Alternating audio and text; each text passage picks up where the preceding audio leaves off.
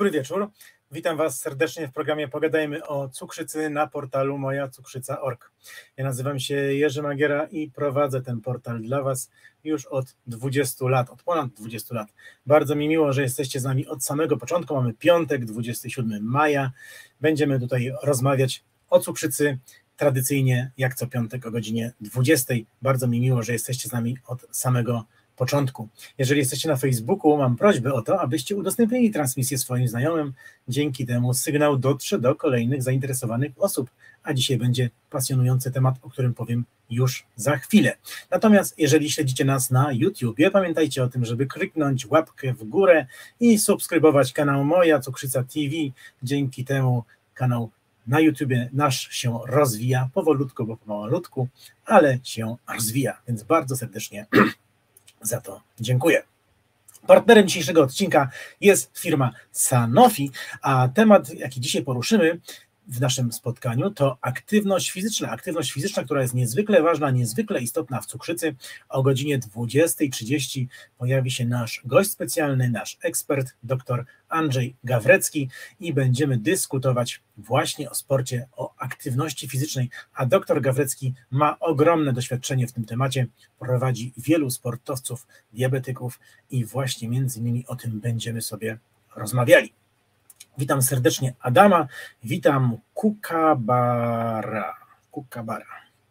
Witam Wojciecha, cześć Marcinie, witam Paulinę, dobry wieczór Piotrze, witam stałych widzów i witam także tych, którzy są u nas po raz pierwszy. Witam Macieja, witam również Iwonę, cześć Janusz, fajnie, że jesteście, że jesteście od samego początku na, y, w naszym programie. Razem stworzymy ten program. Do, czego Was oczywiście gorąco zachęcam. Możecie komentować wszystkie te ważne kwestie, które tutaj się pojawią, zarówno teraz przez najbliższe pół godziny, kiedy ja będę trochę opowiadał o tym, co o cukrzycy, cukrzycy wydarzyło się przez ostatni czas, w ostatnim tygodniu, a także później, jak pojawi się nasz gość. Także zachęcam Was do komentowania, do zadawania pytań.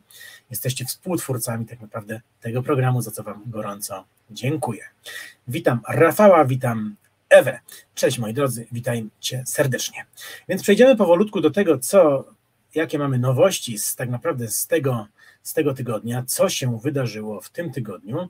No i zaczniemy od takiego tematu, y, od jubileuszu, od jubileuszu 25, 20-lecia, przepraszam, 20-lecia działalności stowarzyszenia y, oddziału jędrzejowscy diabetycy świętowali dwudziestolecie swojej działalności. Tam prezesem jest Anna Gołdyn, Polskie Stowarzyszenie Diabetyków, oddział w Jędrzejowie.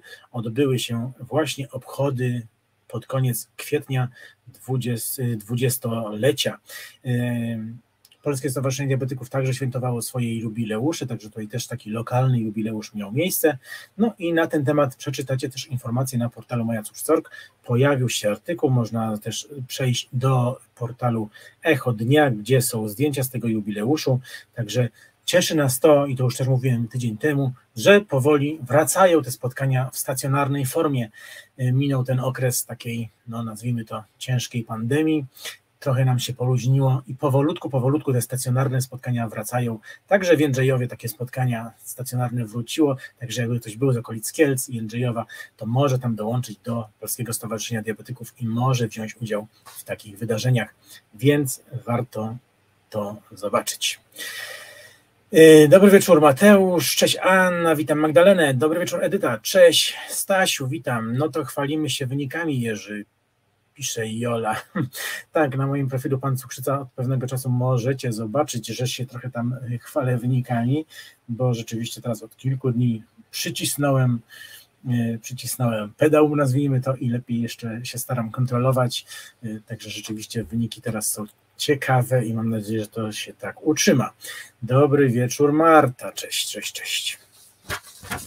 E, dobrze, moi drodzy, drugi temat. Drugi temat. Drugim tematem jest edukator zdrowotny w zakresie cukrzycy, otyłości i ich powikłań. I tutaj Was chciałem poinformować, że taka rekrutacja na drugą edycję studiów podyplomowych rozpoczęła się właśnie w Łodzi y, i tam można y, się ubiegać o dostanie się na taki kierunek studiów podyplomowych.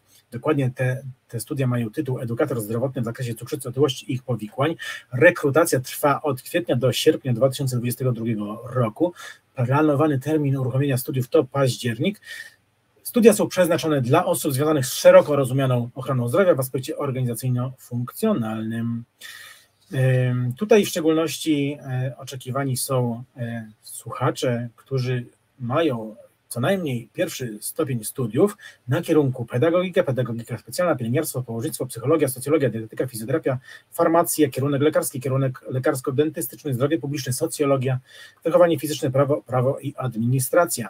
Celem studiów jest przekazanie aktualnej wiedzy i praktycznych umiejętności o cukrzycy i chorobach współistniejących oraz innych chorobach przewlekłych. Studia są płatne, szczegółowe informacje można znaleźć właśnie na stronie Fundacji Diabeciaki oraz na stronie Uniwersytetu Medycznego w Łodzi i także na portalu Moja Cukrzyca.org linki do tego znajdziecie. Jeżeli kogoś by interesował temat podyplomowych studiów w zakresie edukatora zdrowotnego, to tam do Basi Kucharskiej może się zgłaszać, może się starać o dostanie się na taki kierunek, no i takie studia odbyć. Mm, witam Monikę, cześć Anna, cześć Klaudia. Mateusz pyta, a czy jest jakiś sensowny kurs dla magistra dietetyki? Y, czy jest? Nie wiem, czy jest. Trzeba by poszukać. Z tymi kursami dla dietetyków to jest, uwaga, różnie. Wiemy, że to nie do końca jeszcze jest usankcjonowane wszystko i tutaj po kilkugodzinnym kursie ludzie tytułują się już mm, tytułami dietetyka, także to jest rzeczywiście temat no ciężki, ciężki. E, czy jest jakiś kurs sensowny? Nie wiem, trzeba by poszukać cukrzycowych kursów, raczej takich nie spotkałem. Witam Annę, Klaudię, Krzysztofa, Władysława. Dzień dobry, dobry wieczór. E, dobrze, dobrze moi drodzy. Kolejny temat. Odwołanie epidemii, a przedłużenie ważności orzeczenia o stopniu niepełnosprawności. O tym też pisałem ostatnio na moim profilu pan Cukrzyca. Przypominam, że mój profil, ten prywatny taki bardziej, nie moja cukrzyca.org, tylko ten mój profil Jerzy Magiera, być tato diabetykiem Jerzy Magiera o cukrzycy zmienił w ostatnim czasie nazwę na pan Cukrzyca po prostu. I tam właśnie też o tym pisałem, też pisałem o stopniu niepełnosprawności. Wielu z nas, diabetyków, w ogóle nawet o taki stopień niepełnosprawności się nie stara, nie starało, nie próbowało a myślę, że to jest błąd. Myślę, że powinniśmy się wszyscy starać. Ja sam po wielu latach chorowania na cukrzycę dopiero o taki stopień wystąpiłem. Y, różnie to bywa. Niektórzy dostaną lekkie, niektórzy dostaną umiarkowane, niektórzy dostaną na dwa lata, niektórzy na trzy, niektórzy na cztery, niektórzy dostaną bezokresowo.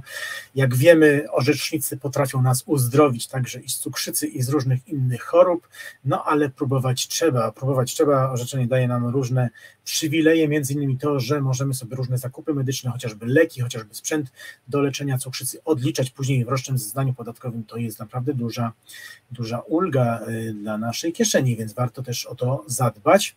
No ale co w kontekście pandemii nastąpiło, to to, że jak wiemy 16 maja został odwołany stan epidemii, i od teraz w Polsce mamy stan zagrożenia epidemiologicznego. No i tutaj w związku z tym pojawiły się wątpliwości. Wątpliwości osób, które mają orzeczony, orzeczony stopień o niepełnosprawności, w tym osoby z cukrzycą i osoby, które taki stopień się na przykład skończył, tak jak mi. Ten stopień się tak naprawdę mi skończył w lutym tego roku. Ale zgodnie z ustawą i z tym wszystkim, co obowiązuje aktualnie, Państwowy Fundusz Rehabilitacji Osób Niepełnosprawnych wyjaśnił, że w aktualnym stanie prawnym orzeczenia niepełnosprawności pozostają nadal aktualne właśnie w sytuacji stanu zagrożenia epidemiologicznego. I ten okres 60 dni, o którym była mowa i który, który mamy wszyscy obawy, że już biegnie, to nie. Ten okres 60 dni zacznie dopiero biec od momentu, gdy stan zagrożenia epidemiologicznego zostanie w Polsce odwołany.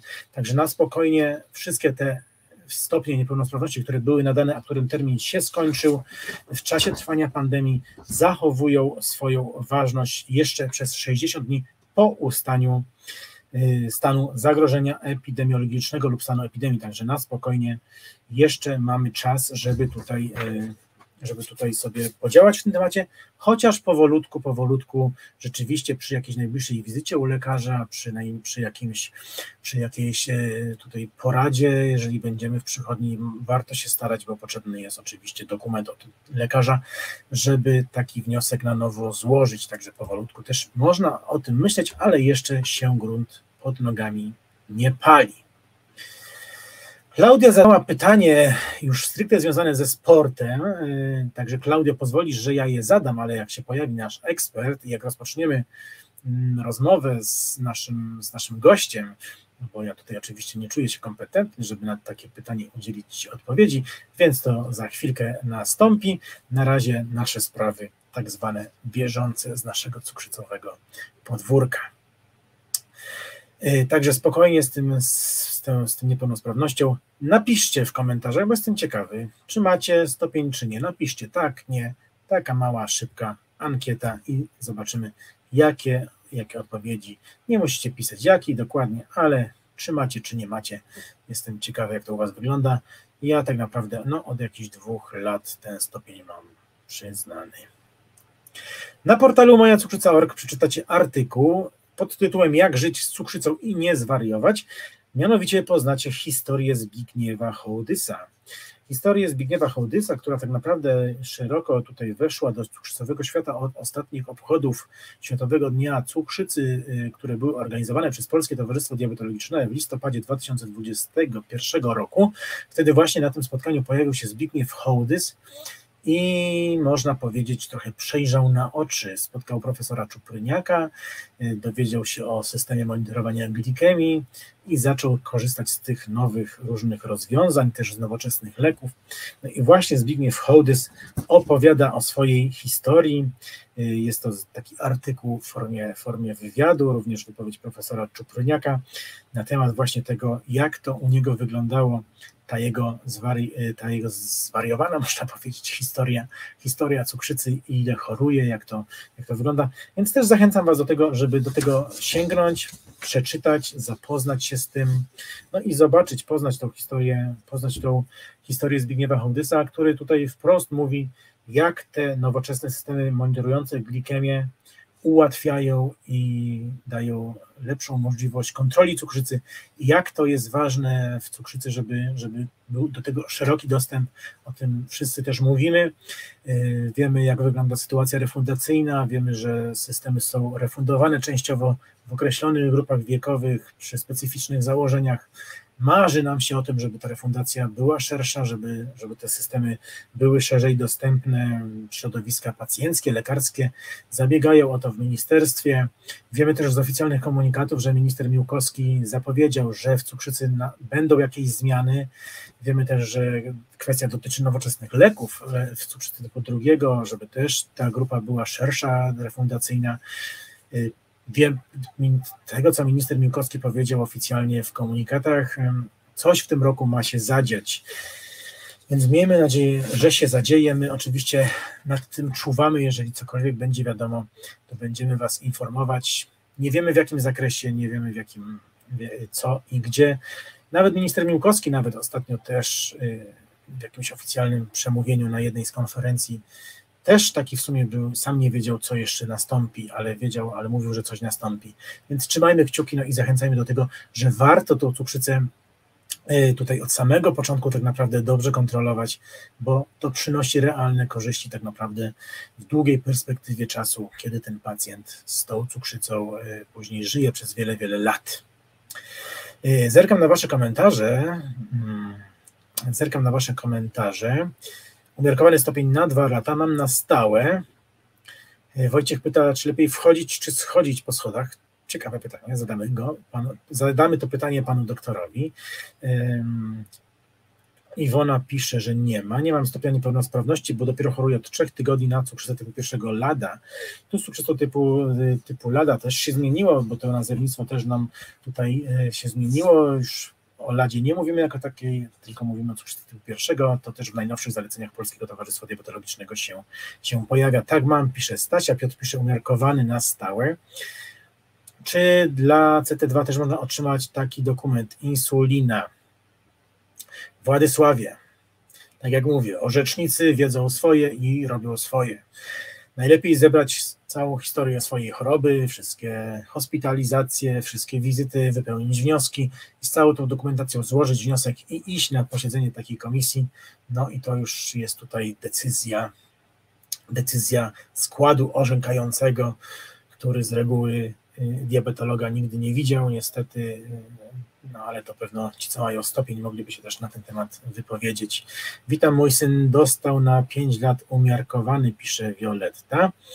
Nie pisze Jacek, tak, stopień niepełnosprawności umiarkowany. Witam Martę. Piotr, no nie mam przy typu drugiego, chyba nie ma takiej opcji.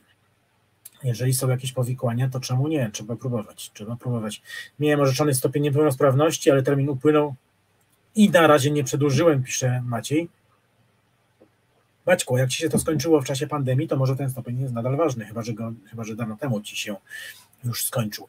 Witam Kamila, witam Małgorzatę, cześć Marcinie, witam Gadżety Diabetyka, witam Ewę, witam nowe osoby, które, które przychodzą. Y, jakie benefity nam daje stopień niepełnosprawności lekki? Czy w takim lekkim stopniu można mieć jakieś odliczenia leków? Tak, głównie w stopniu lekkim chodzi właśnie o odliczenia leków. Nie dostajemy tutaj żadnych pieniędzy dodatkowych na tak zwaną rehabilitację, ale możemy odliczyć leki. Czyli na przykład, jeżeli mamy ten stopień przyznany w związku z cukrzycą, to wszystkie insuliny, wszystkie leki doustne, które stosujemy, inne ewentualnie leki, które stosujemy, wszystko to możemy później odliczyć. Oczywiście potrzebne jest orzeczenie o niepełnosprawności, gdy kupujemy w aptece leki, bierzemy faktury imienne na siebie i co ważne, w danym miesiącu sumujemy te wszystkie faktury, co wydaliśmy na te leki cukrzycowe i za, w każdym miesiącu należy odjąć 100 zł. Tak to, tak to zostało sformułowane. Czyli przykładowo, jeżeli w styczniu wydałem 200 zł na na leki cukrzycowe odejmuję 100 zł i 100 zł mogę odliczyć ze stycznia. Jeżeli później, na przykład w marcu, w kwietniu wydałem powiedzmy 300 zł na leki, to znowu odejmuję od tego 100 i 200 zł mogę odliczyć i później sumujemy te kolejne miesiące. A jeżeli chodzi o sprzęt, czyli wkłucia, zbiorniki, to wszystko można odliczyć w 100%, także tutaj nie ma żadnych ograniczeń. Jeżeli jesteśmy właścicielem samochodu, y, to też możemy odliczyć pewną kwotę związaną z dojazdami na cele rehabilitacyjne, czyli na przykład jeżeli jeździmy gdzieś do doktora, to, możemy taką ulgę sobie też odliczyć.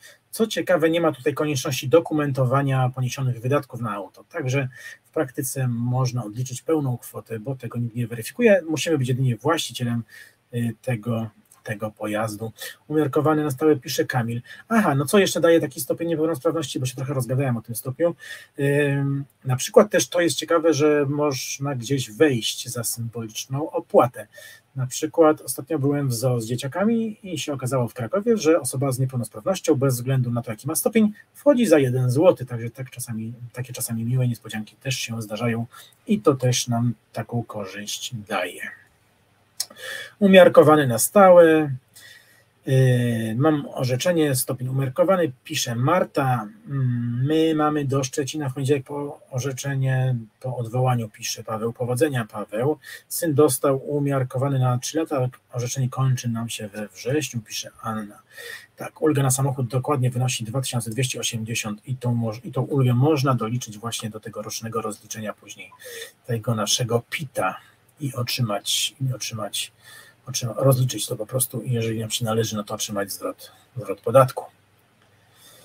10 dni urlopu zdrowotnego jest tak, że pisze Klaudia, na stopniu umiarkowanym pewno, bo chyba na lekkim tego nie ma, nie jestem tutaj tego pewny. A czy aby ubiegać się o stopień niepełnosprawności, trzeba mieć jakiś staż cukrzycą, trzeba mieć powikłania. Tak jak mówię, nawet na, proszę sobie zobaczyć, jak wrzuciłem zdjęcie na profil Pan Cukrzyca na, na, na Facebooku, to jest mój ten profil, gdzie, gdzie prowadzę takie moje bardziej prywatne konto. Y, Facebook y, Pan Cukrzyca, jak wpiszecie, to Wam wyskoczy. Tam są komentarze. Tam nawet napisała dziewczyna, która jest po amputacji ręki, i jej ten stopień odebrali. Nie wiem, czy orzecznik stwierdził, że ta ręka jej odrośnie, czy co.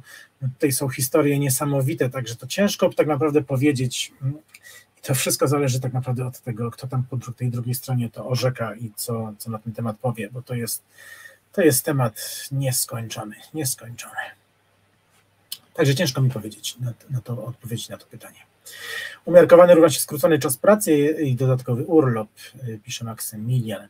My z synem jedziemy po orzeczeniu w poniedziałek do Szczecina po odwołaniu, nie wiadomo jak będzie, nie rozumiem tego chorego systemu, trzeba się, za, trzeba się czapkować za 250 zł. Y, dobra, idziemy dalej, zostawmy ten stopień, bo to widzę, że tutaj jeszcze na tym stopniu to trzeba zrobić cały oddzielny program, moi drodzy. System Dexcom G6 taniej. Zmieniła się w ostatnim czasie odpłatność za sensor y, z 300 zł za ten sensor 10-dniowy. Teraz przyjdzie nam zapłacić pełnej odpłatności 250 zł. To druga obniżka, która nastąpiła można powiedzieć, w ostatnich miesiącach, bo również transmitter potaniał. Wcześniej był za 700 zł, teraz już jest za 350 zł. System Dexcom jest częściowo refundowany, oczywiście do 20 szóstego roku życia jedynie dla osób stosujących pompy insulinowe i z tak zwaną nieświadomością hipoglikemii. Niestety osoby dorosłe muszą tutaj się liczyć z tym, że system będzie dostępny za pełną odpłatnością. I dzisiaj na portalu Moja Cukrzyca pojawił się właśnie artykuł w tej sprawie, gdzie podsumowaliśmy koszty. Koszty związane z użytkowaniem sensora i nadajnika. Y, no i te koszty są mniejsze niż były, to jest też ciekawa rzecz. Generalnie zakładając, powiem Wam o tej pełnej odpłatności, generalnie zakładając, że będziemy stosować trzy sensory Dexcoma na miesiąc y, i ten transmitter, tutaj koszt dzielimy na 3, bo transmitter działa przez 90 dni, więc 30 dni no to jest 1 trzecia tej ceny, Suma summarum Dexcom w takiej oficjalnej konfiguracji, czyli zmiana sensora co 10 dni, to wychodzi w tej chwili 866 zł. To już jest mniej niż było, bo dawniej koło 1000. Natomiast jeżeli zdecydujemy się na tak zwane trochę, trochę nieoficjalną metodę przedłużenia sensora, no i założymy sobie, że wykorzystamy tylko dwa sensory na miesiąc, czyli jeden z tych sensorów gdzieś tam coś wydłużymy, no to wtedy ten realny koszt nam trochę spada. I tutaj mamy już wydatek rzędu 617 zł, no przyznacie, że to już powolutku się zbliża do tej ceny, którą trzeba płacić za Libre w pełnej odpłatności. A Dexcom moim zdaniem tutaj e, oferuje lepsze możliwości, bo to są między innymi to, że ja nie muszę się skanować, tylko mam podgląd na moją glikemię cały czas na ekranie telefonu, nawet na zablokowanym ekranie. Mam alarmy, które mnie informują o wzroście, o spadku cukru. Mam alarm predykcyjny, który mnie informuje na 20 minut przed wystąpieniem hipoglikemii. E, to jest rzeczywiście ciekawa, ciekawa rzecz w tym, w tym systemie. No i oczywiście zmieniły się też koszty związane przy refundacji. Tak jak wspomniałem, refundowany jest dla osób do 26 roku życia cukrzycy typu pierwszego, które są leczone pomp, przy pomocy pompy insulinowej i u których występuje stwierdzona przez lekarza nieświadomość hipoglikemii, czyli brak odczuwania objawów zbyt niskiego stężenia cukru we krwi z wykluczeniem hipoglikemii poalkoholowej.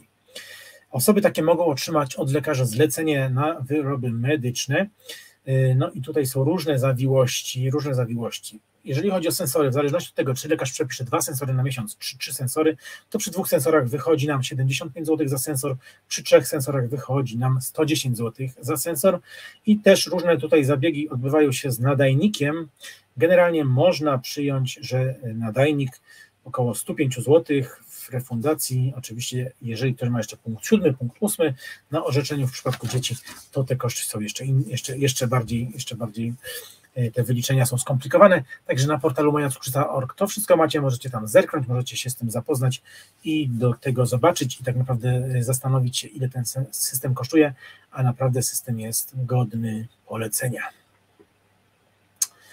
I to są dobre informacje, piszą gadżety diabetyka. Dexcom świetny system, oby był refundowany wszystkim, oby, oby, właśnie. Dexcom i tak nadal jest drogi. No, zgadzam się, zgadzam się, że nie są to małe pieniądze, yy, ale ta obniżka jest, jest że tak powiem, miła i fajnie, że się, że się pojawiła. Jestem od samego początku choroby nad Dexcom G6, ale 750 zł miesięcznie to i tak jest szaleństwo. Przedłużenia sensora nic nie daje, bo wówczas pomiary wychodzą mocno rozbieżne z glukometrem. No właśnie, z tym przedłużeniem sensora też jest tak, że to trzeba mieć na uwadze to, że to działa zależnie od tego, jakie mamy te glikemie, jak bardzo nam się te cukry wahają, czy mamy dużo spadków, dużo, dużo wysokich cukrów. Mam wrażenie, że im ta cukrzyca jest bardziej rozchwiana, tym ten enzym w tym sensorze szybciej się wyczerpuje i po prostu gorzej o to przedłużenie. Więc podsumowując, jeżeli lepiej wyrównana cukrzyca, taki system, taki sensor nam wytrzyma dłużej. Dodam tylko, że jeżeli te rozbieżności występują, to spróbuj może też zrobić kalibrację. Dexcom G6 ma opcję takiej kalibracji, nie jest obowiązkowy, ale można to zrobić, może uda się też nakierunkować jakoś, ale jeżeli rzeczywiście te rozbieżności są duże, to faktycznie tutaj y, raczej należałoby no, wymienić sensor, sensor na nowy. O i się rozgadaliśmy, a już za 3 minuty spotkanie z naszym gościem, jest z nami 105 osób, bardzo mi miło, że jesteście wszyscy, fajna frekwencja, Także już za chwilkę spotkanie z naszym gościem. Ja jeszcze zerkam na Wasze komentarze, bo widzę, że tutaj jest ich trochę. Libra wychodziła mi 20, 28 dni, czyli 250 na prawie cały miesiąc. Nie pytam Joanna, jak to zrobiłaś. Una, u syna udaje się czasem przedłużyć nawet trzy pełne sesje, u córki tylko dwie, czasem mniej. Libre 3 też nie trzeba skanować i też ma alarmy, ale Libre 3 nie ma w Polsce. Hmm. Abot, firma, prosimy o Libre. Libre z nakładką działa podobnie jak Dexcom, a nakładka działa już mi przeszło trzeci rok. Tak, można mieć nakładkę przy Librze. E, dobra, jak realnie wygląda to przedłużanie Dexcoma, czy udaje się z każdym sensorem? No to właśnie tak jak pisałem. Tak jak pisałem, tak jak mówiłem, u mnie ten drugi okres zawsze idzie, znam przypadki, że drugi okres nie zawsze wychodził, pół okresu się kończyło, ale znam też przypadki, że ktoś przedłużał o trzy trzy razy robił y, trzy jakby okresy. Y, więc tutaj y, no, no jest jakby sprawa sprawa indywidualna. Dobra, moi drodzy, bo jeszcze mam dwie minuty i muszę się streszczać, to jeszcze tylko o ważnej rzeczy muszę powiedzieć, y, o tym, że na portalu Moja Cukrzyca.org pojawiły się zalecenia kliniczne dotyczące postępowania u chorych na cukrzycę na 2022 rok. Zgodnie z zapowiedzią Polskie Towarzystwo Diabetologiczne upubliczniło na swojej stronie te zalecenia, więc są również one dostępne u nas, można je pobierać, można się z nimi zapoznać, także gorąco do tego zachęcam, żeby po to sięgnąć, to taka nasza encyklopedia leczenia cukrzycy, tak właściwie dla naszych lekarzy, ale my też z tego korzystamy szeroko, więc te zalecenia są, są one dostępne y, no i, i warto, warto po to sięgnąć i warto, warto to mieć u siebie na dysku. Zawsze można do tego zerknąć, zobaczyć, jak to cukrzycę naszą się leczy. No i nie zdążę powiedzieć już o najważniejszych zmianach, jakie zaszły w zaleceniach Polskiego Towarzystwa Diabetologicznego. O tym rozmawialiśmy z profesor Inią Kowalską w naszym programie, ale też od, na ten temat pojawił się artykuł na portalu Moja Cukrzyca.org. Więc dzisiaj Was tylko zaproszę do tego, żebyście sobie tam zerknęli tam jest na portalu podsumowanie właśnie tych zmian. Także zobaczcie, zobaczcie, co się zmieniło w zaleceniach Polskiego Towarzystwa Diabetologicznego. Do tego Was zachęcam. Minęła godzina 20.30, więc jeszcze zerkam na Wasze komentarze. O, ani glikemia wzrasta, trzeba będzie podać bolusa. Yy, także moi drodzy, u nas Dexcom raz działał 30 dni, zazwyczaj 20. Także moi drodzy, y, poprosimy gong i powitamy naszego dzisiejszego gościa. A naszym dzisiejszym gościem jest doktor nauk medycznych pan Andrzej Gawrecki, specjalista chorób wewnętrznych i diabetologii, adiunkt w katedrze i klinice chorób wewnętrznych i diabetologii Uniwersytetu Medycznego w Poznaniu. Pracuje na oddziale chorób wewnętrznych i diabetologii y, Szpitala Miejskiego imienia Franciszka Raszei. Pasją doktora Gawreckiego są nowoczesne technologie w leczeniu cukrzycy, w szczególności pompy insulinowe, systemy ciągłego monitorowania glikemii oraz telemedycyna.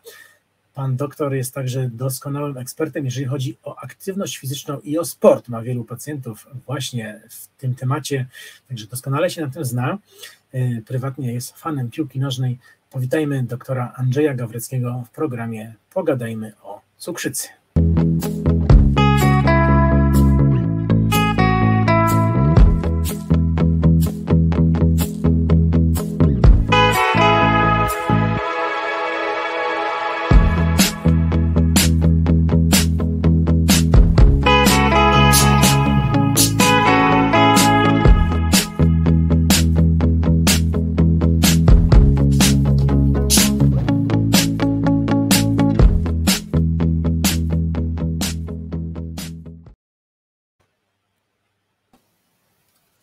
Pan doktor. Witamy serdecznie pana doktora. Pogadajmy o cukrzycy. Miło mi powitać w studiu. Dobry wieczór, Jerzy. Witam Ciebie serdecznie, witam Państwa. Bardzo miło mi jest ten piątkowy wieczór spędzić właśnie z Wami. Bardzo dziękujemy, że pan doktor zgodził się dzisiaj z nami spędzić ten czas i porozmawiać o cukrzycy, szczególnie w tym ważnym aspekcie, jak, jakim właśnie jest sport i aktywność fizyczna, bo wiemy, że to jest jeden z tych kluczowych elementów w leczeniu, w leczeniu cukrzycy.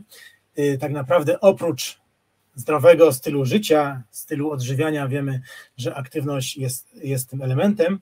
Proszę nam powiedzieć na początek, dlaczego ruch jest tak ważny właśnie w życiu osoby z cukrzycą? E, myślę, że ruch jest ważny w życiu każdego człowieka. Natomiast, Jerzy, jak rozkręcamy się tutaj na początku webinaru, ja z uwagą słuchałem e, problemów, które poruszałeś dla, dla Waszej społeczności, naszej społeczności. E, ja nie śledzę tak mediów społecznościowych, ale ja rozumiem, że wszyscy wiedzą, że w Gdańsku w biegu się mieliśmy kilka razy. Nie miałem okazji uścisnąć Ci ręki wówczas. Gratuluję, ponieważ zostałeś honorowym członkiem Polskiego Towarzystwa Diabetologicznego. Dziękuję bardzo. Tak stąd, stąd, ten profil pan cukrzyca teraz. To tak się zbiegło w czasie, ale faktycznie, faktycznie miałem to w planach już od kilku miesięcy, ale teraz rzeczywiście to tak już przybiło witam, pieczątkę. Witam, witam Macieja Żyskiego. Razem zdobywali, zdobywaliśmy Damawant. E, Jurku, co do, co do Twojego pytania, e, pytasz o dlaczego ważna jest aktywność fizyczna, dlaczego tak zajmuję się tym tematem również w sensie naukowym, pracy praktycznej, dlaczego o tym w ogóle rozmawiamy. E, jest. E, ja podchodzę do tego tematu bardzo poważnie, ponieważ prowadząc szkolenia u nas w klinice, raz w tygodniu spotkam się z pacjentami, prowadzę szkolenie dotyczące aktywności fizycznej i zaczynamy to spotkanie od tego, że cała grupa ja piszę na flipcharcie korzyści, jakie wynikają z tego, że się codziennie ruszamy. E, I to jest niesamowite, ponieważ e, przez te wszystkie lata spotkań z pacjentami zabrakło flipchartów, żeby ustawić się sumie opar o ścianę, ile argumentów e, nasi pacjenci znajdują po to, żeby się ruszać. I zazwyczaj kończę to, później pytam wszystkich, słuchajcie, po co to wszystko? Bo nie chodzi o tylko, żeby mieć lepszą glikowaną hemoglobinę, czy mieć lepszą sylwetkę, czy też lepsze samopoczucie tylko zazwyczaj dobijamy do tego, że najważniejsze to, to wszystko w sumie daje nam zdrowia. E, to, to wszystko daje nam zdrowia, zdrowie równa się życie. Dlatego temat jest bardzo poważny, e, bo jednak kiedy to, co ty robisz w swojej pracy, za to zostajesz właśnie też członkiem honorowym PTD, bo to było podkreślane, twój ogromny dorobek, twoje zasługi, te 20 lat.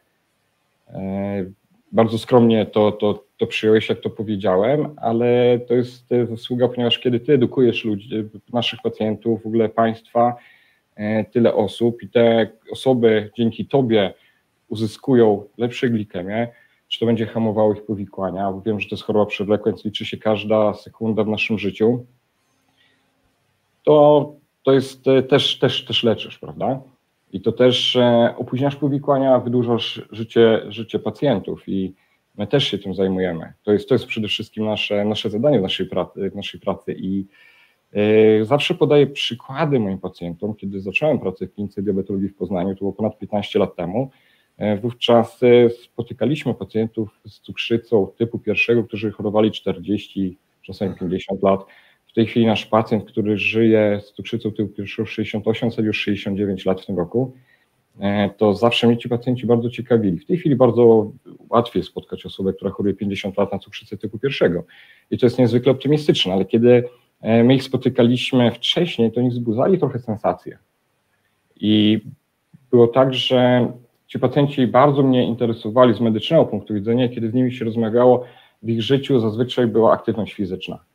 Dużo sportu, ruchu, byli zawodnicy, byli trenerzy, ale to, co podkreślam, bo to też jest bardzo ważne, E, ludzie, którzy ciężko, regularnie pracowali fizycznie, najczęściej rolnicy. Czyli osoby, które miały ten systematyczny ruch, o którym mnie zapytałeś w pierwszym pytaniu. E, I to jakby sprawiało, że te osoby były z nami, nie miały powikłań, nie mogły się dobrze leczyć, bo nie było na to szansy w tamtych czasach. Jeżeli ktoś w latach 2000 chorował 30, 40, 45 lat, no to aż strach pomyśleć, z czym on musiał się mierzyć w latach 70. czy 80. A te osoby żyły, były z nami. Bardzo często miały w niewielkim stopniu nasilone przewlekłe powikłania cukrzycy. Więc ruch, w ruchu jest, jest, jest życie, tak naprawdę cały ten wysiłek.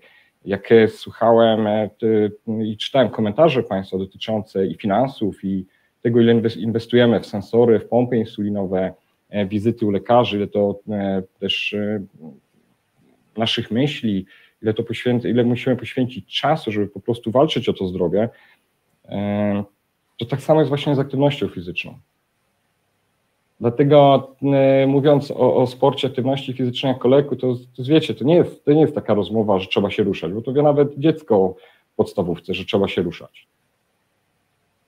Z tym, że aktywność fizyczna to jest lek darmowy, można powiedzieć, tak? Jeżeli, co prawda, tam powiedzmy karnet na siłownię, no ale generalnie możemy uprawiać taki rodzaj sportu, gdzie, gdzie nie musimy tak naprawdę sporo inwestować pieniędzy. Także tak naprawdę jest to lek dostępny dla każdego, można by rzec. Ale właśnie proszę nam powiedzieć, czy tak naprawdę każdy rodzaj aktywności fizycznej będzie odpowiedni dla, dla osoby z cukrzycą? Czy tutaj jednak jakieś ograniczenia występują i na coś by należało zwrócić uwagę?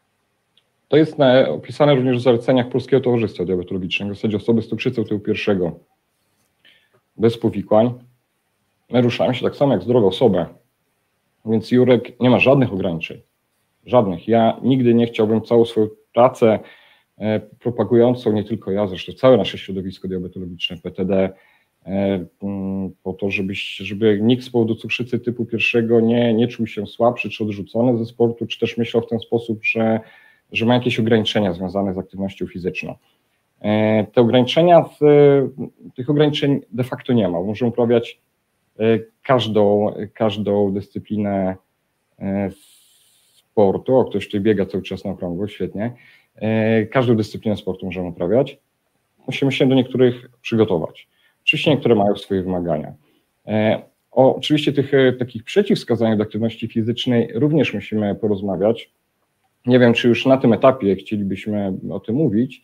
E, no, oczywiście pacjenci, którzy dłużej chorują, e, powyżej 35 roku życia, pacjenci, którzy mają rozpoznane mikroangiopatyczne e, powikłania cukrzycy, no muszą porozmawiać o tym ze swoim lekarzem. Przede wszystkim musimy pilnować dna oka, czyli to jest taki moment, kiedy mielibyśmy retinopatię określoną jako przedproliferacyjną, proliferacyjną, bylibyśmy w trakcie laseroterapii, czekali może na kolejny zabieg, albo nasz okulista nie jest pewien, ale e, spodziewamy się, że jednak, e, czy też na przykład są wymagane dalsze badania, obserwacje, czyli jest pewne podejrzenie, że ten jednak laser e, na dnie oka musiał być zostać przeprowadzony, laseroterapia, zabieg laseroterapii, wówczas należałoby zdecydowanie zrezygnować z jakiejkolwiek aktywności fizycznej, prowadzimy życie królowej, stabilizujemy sytuację na dnie oka, i wracamy do sportu. I znam osoby, które miały laseroterapię 20 lat temu, e, świetnie się od tego czasu leczą, chodzą po górach, są aktywne fizycznie, e, nie, było, nie nastąpiła żadna progresja retinopatii, wszystko jest w porządku. Oj, to jest, to jest, dobry, to jest dobry przykład. Dokładnie tak. Wszystko jest mhm. Dokładnie tak, ale tutaj, tutaj wtedy, wtedy jest, e, jest i pojawia się ograniczenie. I dlatego słuchajcie, no pilnujcie po prostu systematycznie kontroli nauka. Chciałem tutaj podkreślić też rolę pana doktora i w ogóle ośrodka poznańskiego, w którym, w którym zarówno pan pracuje, jak i też profesor Zozulińska-Ziłkiewicz tam, tam szefuje całym też ośrodkiem, y, bo cały państwa ośrodek tak naprawdę jest za sportem. Wy nie tylko mówicie o tym, że należałoby się ruszać, ale też sami się ruszacie i sami to pokazujecie. Pan doktor, jak wiemy, uwielbia piłkę nożną, y, pani Dorota Zozulińska-Ziłkiewicz, pani profesor y, kocha rower i, i jeździ na rowerze, też to pokazuje śmiało i, i zawsze to promuje takie pokazanie chyba na własnym przykładzie też i zaprezentowanie w ogóle, że nie tylko o tym mówimy i tak róbcie, bo tak jest dobrze, tylko sami to robimy i sami się do tego też stosujemy, chyba ma też istotne znaczenie, żeby po prostu rzeczywiście taki przykład pokazać, prawda? I, i przykład postępowania, że to jest ważne.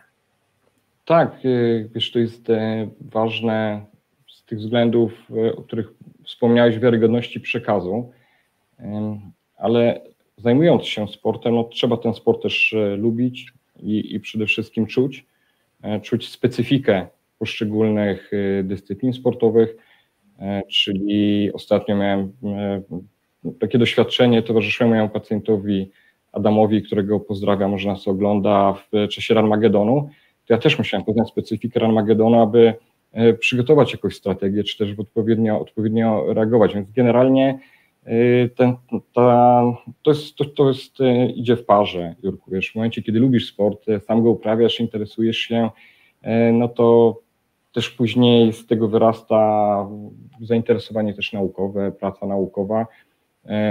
Chętnie się pracuje z pacjentami i oczywiście pani profesor Zuzulińska-Ziłkiewicz też jest propagatorką sportu, ale przede wszystkim ten sport bardzo, można powiedzieć, wyczynowo uprawia, również rywalizując, będąc wielokrotnym mistrzem Polski lekarzy w MTB. Ale to też podkreśla bardzo często pan profesor Klupa, że sport może ma szansę stać się taką specyfiką polskiej diabetologii, e, ponieważ my mamy wieloma tymi naszymi sukcesami, również w publikacjach się chwalimy, dlatego czy też zdobycie Damawandu przez polską eskapadę też było zauważone na SD. E, pani profesor Szatkowska w tej chwili jest współautorem zaleceń i spadu e, tych rozdziałów, które poświęcone są właśnie dla dzieci aktywności fizycznej. E, spójrzmy na sukcesy też polskich olimpijczyków. Mamy w tej chwili dwóch olimpijczyków, e, którzy mają cukrzycę typu pierwszego. E, teraz w kwietniu pojawiła się taka publikacja Michaela Riddle. Michael Riddle jest takim autorytetem w świecie. Sam ma cukrzycę typu pierwszego, syn ma cukrzycę typu pierwszego. Świetny, świetny facet, też niesamowicie wysportowany, z którym też mam okazję podczas konferencji rozmawiać. Teraz widzieliśmy się na ITTD. I pojawił się artykuł, który właśnie taką pracą poglądową na sięgał aż starożytności, przyszłości, teraźniejszości przyszłości, jeżeli chodzi w ogóle o leczenie cukrzycy typu pierwszego aktywność fizyczną, jakie będą strategie postępowania. I tam jest taka rycina, która pokazuje w zasadzie dzieje świata, jeżeli chodzi o e, cukrzycę, postęp w leczeniu cukrzycy i równolegle sukcesy sportowców i wydarzenia sportowe. Jest niesamowite, że na tej rycinie jest dwóch Polaków. To jest właśnie dwóch naszych olimpijczyków wspomnianych, Michał Jeliński i pan Mateusz Rudek. E, więc jest to taki naprawdę silny, silny akcent polski, e, więc e, myślę, że to wyrasta z całego środowiska, to co mówisz, i publikacje, i nasze doświadczenia. Podobnie Fundacja Cukier Asy z, z Poznania, która, ta drużyna zawiązała się też wokół Mistrzostw Polskich, które organizowaliśmy w Gnieźnie, wówczas też Jurku byłeś z nami, i cukierasy w tej chwili jeżdżą po całej Europie, grają z czołowymi europejskimi, z juniorami czołowych europejskich klubów, e, tylko że oni są zdrowi, a nasi, nasi mają cukrzycę typu pierwszego. Powstała polska reprezentacja, Słodka Polska. No bardzo dużo się w ogóle w temacie sportu i cukrzycy e, w Polsce wydarzyło. Myślę, że to jest nie, niezwykle optymistyczne. Mam wrażenie, panie doktorze, że Poznań sprzyja trochę sportowcom i, i, jeżeli ktoś tam jest z Poznania, to ma trochę łatwiej w temacie sportu, ale tak jak pisze Marzena, nie każdy rodzi się sportowcem. No właśnie, nie każdy się rodzi sportowcem, więc może tak trochę przybliżmy też temat trochę mniej doświadczonym, bo rzeczywiście tych takich przykładów, które są do pokazywania jest całkiem sporo i to jest oczywiście wspaniała rzecz, że diabetycy osiągają takie sukcesy na różnych tutaj poziomach nawet i tych mistrzostwskich olimpijskich, ale jak taką aktywność fizyczną w ogóle możemy zaplanować i jakie działania należałoby podjąć przed aktywnością fizyczną, żeby ten cukier utrzymać w miarę na dobrym poziomie. I mówimy tutaj o takim, no nazwijmy to standardowym diabetyku, tak? Nie, nie na tych poziomach mistrzowskich, tylko tak, tak nam proszę to przybliżyć, tak jak dla zwykłego, dla zwykłego śmiertelnika, dla zwykłego diabetyka. Znaczy ja w ogóle tak zastanawiając się przed programem, chciałbym, aby ten przekaz y, y, był kierowany właśnie dla, dla osób, które ten sport uprawiają przede wszystkim amatorsko. I mm, tak naprawdę nie chodzi o to, aby być sportowcem, tylko chodzi o to, aby się ruszać, aby po prostu mieć w sobie tą potrzebę aktywności fizycznej. Dlatego moją taką receptą, Szanowni Państwo, na którą też przekazuję pacjentom, jest e, w tej chwili to, co zaleca WHO, zalecają Amerykanie, również pojawiło się w zaleceniach Polskiego Towarzystwa Diabetologicznego, nie jest to 50 minut, jak mówiliśmy dawniej, tylko 200-300 minut na tydzień dodatkowo, czyli musimy przynajmniej co dwa dni zorganizować sobie jakąkolwiek aktywność fizyczną, nie musimy być sportowcami, to mogą być kije, rower, basen, e, po prostu mamy być w ruchu, nie siedzieć. Mhm. E, następnie to, co związane jest, to, co mówiłem na początku, o tych pacjentach, których ja spotykałem, na swojej drodze zawodowej, którzy mają bardzo długi wywiad cukrzycy, oni po prostu mieli ciężką fizyczną pracę, na co dzień aktywność fizyczną I to jest to, abyśmy nie siedzieli. Okazuje się, że są badania epidemiologiczne, które pokazują, że osoby, które siedzą więcej niż 8 godzin dziennie, krócej żyją. To jest po prostu czynnik ryzyka. Tak jak wiecie, palenie jest czynnikiem ryzyka Aha. wielu chorób. Tak samo siedzenie więcej niż 8 godzin. A to jest bardzo proste, bo jeżeli jedziesz godzinę do pracy, siedzisz w pracy, wracasz godzinę do domu i później jesteś zmęczony i też siedzisz, to jest bardzo łatwo to zrobić. Więc e, mamy tak prowadzić nasze życie, żeby, żeby nie siedzieć i też ważne jest, żeby nie siedzieć dłużej niż 60 minut, to też wpływa na nasz metabolizm, więc nie wiem Jurek, co my zrobimy około godziny 21.30. Ruszymy się. Tak, ruszymy się.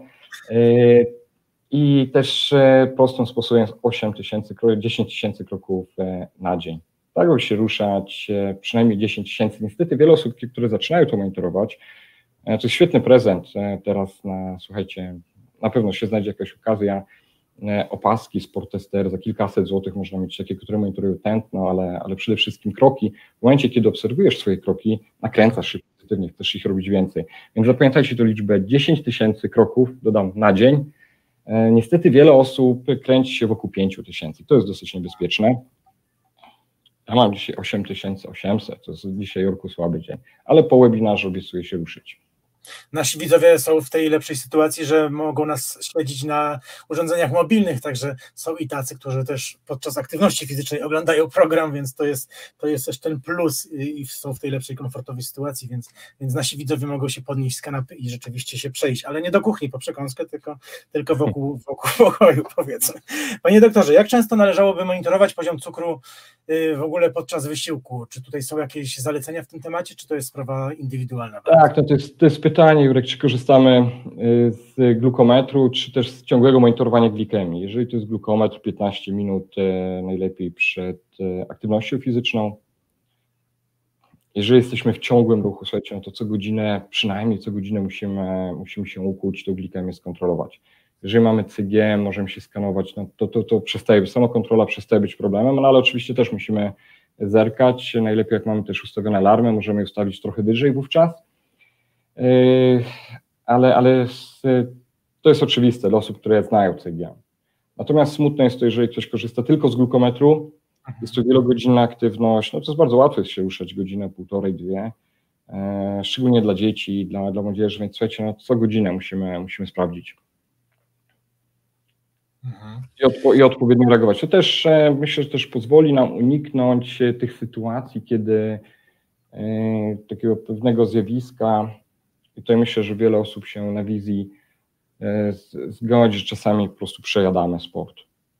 Zbyt dużo węglowodanów spożywamy i wtedy to jest, wiesz, to, to jest takie myślenie e, zjem, bo i tak będę się ruszał, i tak mi spadnie. Więc czasami bezpiecznie jest e, wywindować hiperglikemię ponad 200 mg na decylitr, wtedy się czuję bezpiecznie i jakby trochę zapominam o cukrzycy.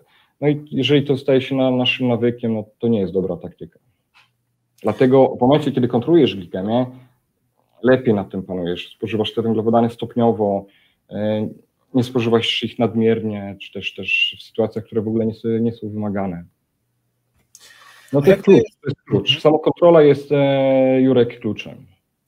A jak to jest z, z tym spalaniem tak naprawdę cukru? Bo wśród diabetyków często można się spotkać z takim przekonaniem, no, że mam wysoki cukier, no to sobie pójdę, trochę poćwiczę i mi ten cukier spadnie.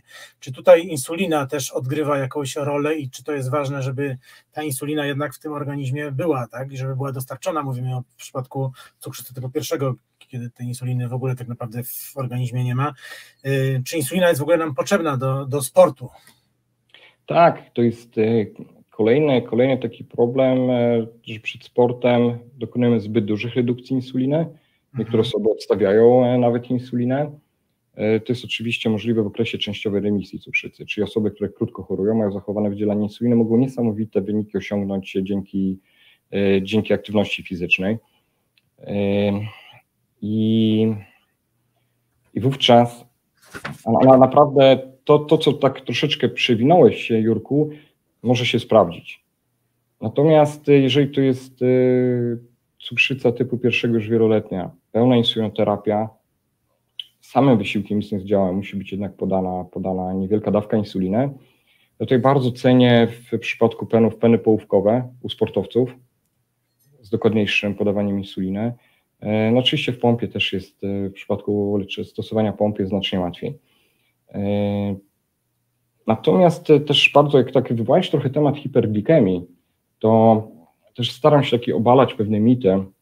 To oczywiście zależy od regionu Polski, od tego, jak przebiegał proces szkolenia. Jest taki mit, który bardzo często pacjenci mówią, że przy glikemii powyżej 250 mg na decylitr. No właśnie, jest takie pytanie nawet także wolę sobie je wyświetlić. Co z tym mitem nie ćwiczyć z cukrem powyżej 250, dopiero ketony są przeciwwskazaniem, czy dopiero ketony są przeciwwskazaniem do aktywności? No, no bardzo, bardzo fajnie, że wywołaliście ten temat. No, to teraz jakbym tak zapytał wszystkich, czy... O, zobacz, jak jedziemy na kolonie dla dzieci z cukrzycą albo obóz piłkarski, to co, wychodzimy na boisko e, po, po obiedzie i robimy tak, kto ma 250 poniżej to gra w piłkę, a ci co mają powyżej 250 to na ławki. No, trudno to sobie wyobrazić i wszyscy, tak jak tutaj nas oglądacie, macie cukrzycę, wiecie, że wielokrotnie z wyższą glikemią też podejmowaliście pracę fizyczną, aktywność fizyczną i oczywiście to jest możliwe. I nie ma takiej, to jest, to jest kontrowersyjne, ale tak e, odważę się powiedzieć, nie ma górnej granicy, pod warunkiem, że dobrze się czujesz. Pod warunkiem, że wiesz, dlaczego masz hiperglikemię, podałeś korektę. No bo zobaczcie, wyobraźmy sobie sytuację, mówicie tę liczbę 250. Ja ten mit chcę dzisiaj też obalić.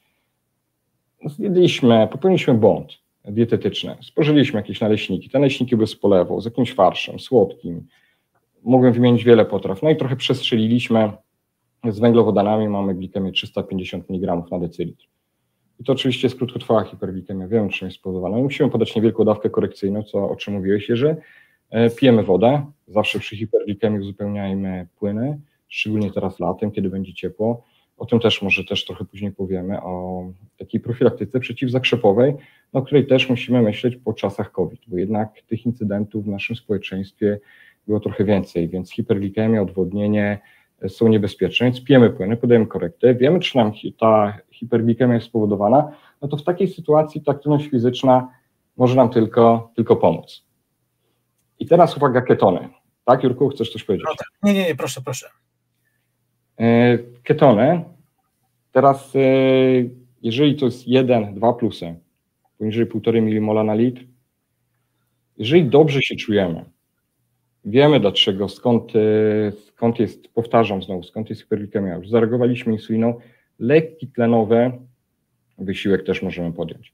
Nie możemy podjąć oczywiście wysiłku intensywnego, e, ponieważ wysiłki beztlenowe, intensywne, one mogą postymulować też, e, powodować hiperglikemię, ale lekki tlenowy jak najbardziej, on nam powinien pomóc.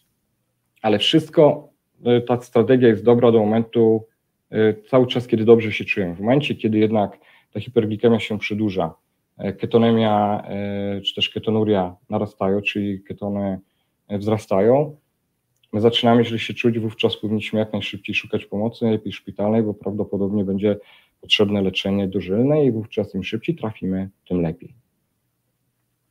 Wspomniał pan doktor o tym, że dzieciaczki wychodzą od razu po, po obiedzie tak naprawdę grać, niektóre właśnie z hiperglikemią. I tutaj jest też Janusza pytanie, z tym się wiąże. Czy zaraz po posiłku można być aktywnym fizycznie, czy trzeba jednak odczekać jakiś czas? Jeżeli tak, to, to jaki? No w przypadku dzieci nie sądzę, żeby czekały, żeby miały taką potrzebę. No w przypadku dorosłych to jest oczywiście na ile dobrze się czujemy, ale jeżeli pytanie dotyczy czysto diabety, mm, diabetologii, w ogóle działania insuliny, no oczywiście musimy zdawać sobie sprawę, że rozpoczynamy aktywność fizyczną w szczycie działania insuliny. Jeżeli zredukowaliśmy dawkę insuliny i to zostało zaplanowane, czyli ten, ten posiłek e, został e, już wkalkulowany, aktywność jest zaplanowana, nie ma problemu. Natomiast jeżeli to jest nieplanowany wysiłek fizyczny, jakaś spontaniczna aktywność, ona jest krótko po posiłku w szczycie działania insuliny, no to niestety no czekają nas węglowodany, kto wie, czy to nie będzie przy przedłużającej się aktywności fizycznej, nawet na przykład do godziny, no to taka godzinna, intensywna aktywność fizyczna w szczycie działania insuliny może wymagać nawet drugiego takiego posiłku. Mhm. Jeżeli jesteśmy przy temacie dzieci, to też jest ciekawy komentarz od Violetty. Mogłoby się zdawać, że już w współczesnym, współczesnym naszym świecie taki temat nie występuje, a jednak jestem opiekunem dziecka z cukrzycą, które nigdy nie ćwiczyło na WF-ie, jak wdrożyć WF w liceum. No panie doktorze, to rzeczywiście, no dawniej tak było. Takie, Za- takie, równało się nie ćwicz na WF-ie, a teraz jednak tutaj trend jest zupełnie inny. Co by tutaj pani Violetcie można doradzić? takie, takie pytania bardzo lubię, ale e, może pani Violeta jeszcze zdąży nam odpowiedzieć, czy dziecko nie ćwiczyło, ponieważ nie chciało, wystąpiły pewne obawy, e, czy te bariery wystąpiły ze strony szkoły, czy też na przykład nauczyciela wychowania fizycznego. To poczekamy chwilkę, może pani Violetta nam y, na to pytanie odpowie. Ja jeszcze zerkam na komentarze, bo tych komentarzy już... Ale, ale, ale tak, ale ten wysiłek musimy, musimy wdrożyć koniecznie. Ciekawe pytanie od Wojciecha pojawiło się jeszcze zanim pan doktor się w studiu pojawił. Czy lepiej wchodzić, czy schodzić po schodach? Czekaj, my musimy to przemyśleć, wchodzić czy schodzić. No, albo może czy wbiegać, czy zbiegać, może tak zapytajmy. Jedno jest pewne, jak idziesz w górę, tak jak państwo byli, byli zdobywali szczyt, no to jak jesteś na szczycie, to jesteś w połowie drogi, prawda? To trzeba mieć na uwadze. E, Słuchajcie, to, to jest fa- fajne, fajne pytanie, czy taki mógł być taki trening trochę, trochę interwałowy moglibyśmy zrobić. E, Nigdy na to nie wpadłem, ale no, zbiegając będziemy chyba bardziej w tlenie, natomiast e, biegając po schodach e, łatwiej zrobić interwał e, i, i jednak gdybym na przykład miał przewidzieć reakcję glikemiczną, to odpowiedziałem tak, jak będziemy zbiegali po schodach, bardziej spodziewałbym się, byśmy ciągle zbiegali po schodach z dziesiątego piętra, spodziewałbym się obniżenia glikemii. Natomiast gdybyśmy chcieli szybko biegać po schodach do góry, to będzie znacznie bardziej wymagający, to będzie wysiłek znacznie bardziej intensywny, bardziej oparty o pracę mięśniową i gdybyśmy takie 10 pięter jednak wbiegali do góry, e, to wówczas e, moglibyśmy się też, mogłaby wystąpić hiperglikemia. Ja również miałam zakazane WF-y przez całość edukacji, opory ze strony nauczycieli. Mimo edukacji na szczęście rodzice motywowali mnie do aktywności po szkole. No tak, tutaj e, rodzi, rodzina też ma istotne bardzo znaczenie w wysiłku. wysiłku Te, te czasy minęły bezpowrotnie. Mam nadzieję, że to już się nie zdarzy i e, w tej chwili to jest również ze strony specjalistów medycyny sportowej, którzy orzekają i kwalifikują e, dzieci, młodzież e, do rywalizacji, do sportu klubowego. Słuchajcie, mam nadzieję, jeżeli takie, mogą Państwo się bezpośrednio ze mną kontaktować, czy też poprzez Jerzego, jeżeli w Polsce specjalista medycyny sportowej u osoby, która jest dobrze wyrównana, prowadzi samokontrolę glikemii, nie ma ciężkiej hipoglikemii, postawił pewną barierę, obawiał się cukrzycy typu pierwszego i nie wydał takiej zgody, to bardzo proszę Państwa o, o sygnał, e, ponieważ i profesor Zuńska-Dziłkiewicz, profesor Klupa, całe PTD stworzyliśmy e, aneks w zaleceniach Polskiego Towarzystwa Diabetologicznego. Zobaczcie, to jest ostatnia strona, tam jest taka karta kwalifikacji. Jurku, mówiłeś we wstępie właśnie o tych zaleceniach, świetnie, że one są dostępne na Twoim portalu. I tam na ostatnich stronach jest aneks, który określa zasady kwalifikacji e, sportowców. Więc e, myślę, że to się nie powinno zdarzyć. Zrobiliśmy to we współpracy z Polskim Towarzystwem Medycyny Sportowej, który jest też tutaj temat bardzo popiera. E, bardzo prosimy o sygnał i wtedy postaramy się pomagać to naprostować. Tadeusz pyta, z jakim poziomem cukru można e, pozwolić sobie na wysiłek fizyczny? Czy tutaj jakiś minimalny poziom jest? E, Ale idziemy w górę czy w dół? Bo już gór, na górnych pułapach byliśmy, więc e, zaryzykowałem stwierdzenia, że tutaj nie ma górnego. Tak, no chodzi o dolny, chodzi o jakby... O ile dobrze. Jeżeli chodzi, jeżeli chodzi o dolny, to myślę, że poniżej 100 mg na decylitr nie powinniśmy zaczynać. Natomiast dla sportów e, ekstremalnych, zobaczycie też w tym ostatnim aneksie jest e, powyżej 120 mg na decylitr. E, Dobrze, jeżeli jest jednak trend strzałka w górę, trend wzrostu glikemii przed aktywnością fizyczną, czy na przykład powiedzmy już 100, przy- wartość około 100 mg na decylitr z trendem w górę, możemy zacząć. Sto, poniżej 100, w okolice 100 i z trendem w dół nie powinniśmy. Pytań jest dużo, więc jeszcze, jeszcze trochę pytań w tej chwili wyświetlimy. Pan doktor przewidział, że tu pewno do 23 będziemy siedzieć yy, z moimi pytaniami, a co jeszcze, jak dochodzą pytania widzów, ale Klaudia już się upominała, że też zadała pytanie jeszcze zanim pan doktor się pojawił, więc wyświetlę teraz to pytanie. Czy można odłączyć pompę na czas rajdu rowerowego na 70 km, bo cały czas cukier spada pomimo bazy 30%? E, Czyli znaczna redukcja bazy.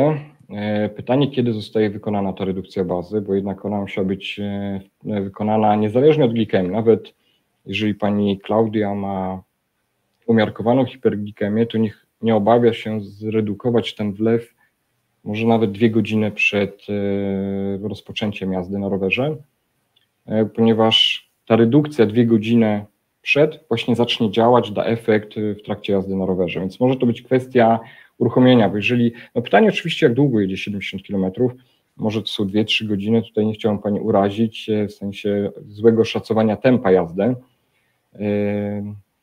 ale gdyby to były, przypuszczam, 2-3 godziny i Pani to uruchamia na krótko przed rozpoczęciem, o, w czasie treningu, trochę za późno. Ok, czyli jeżeli Pani liczy na to, że pomoże baza, to należy uruchamiać godzinę, dwie wcześniej.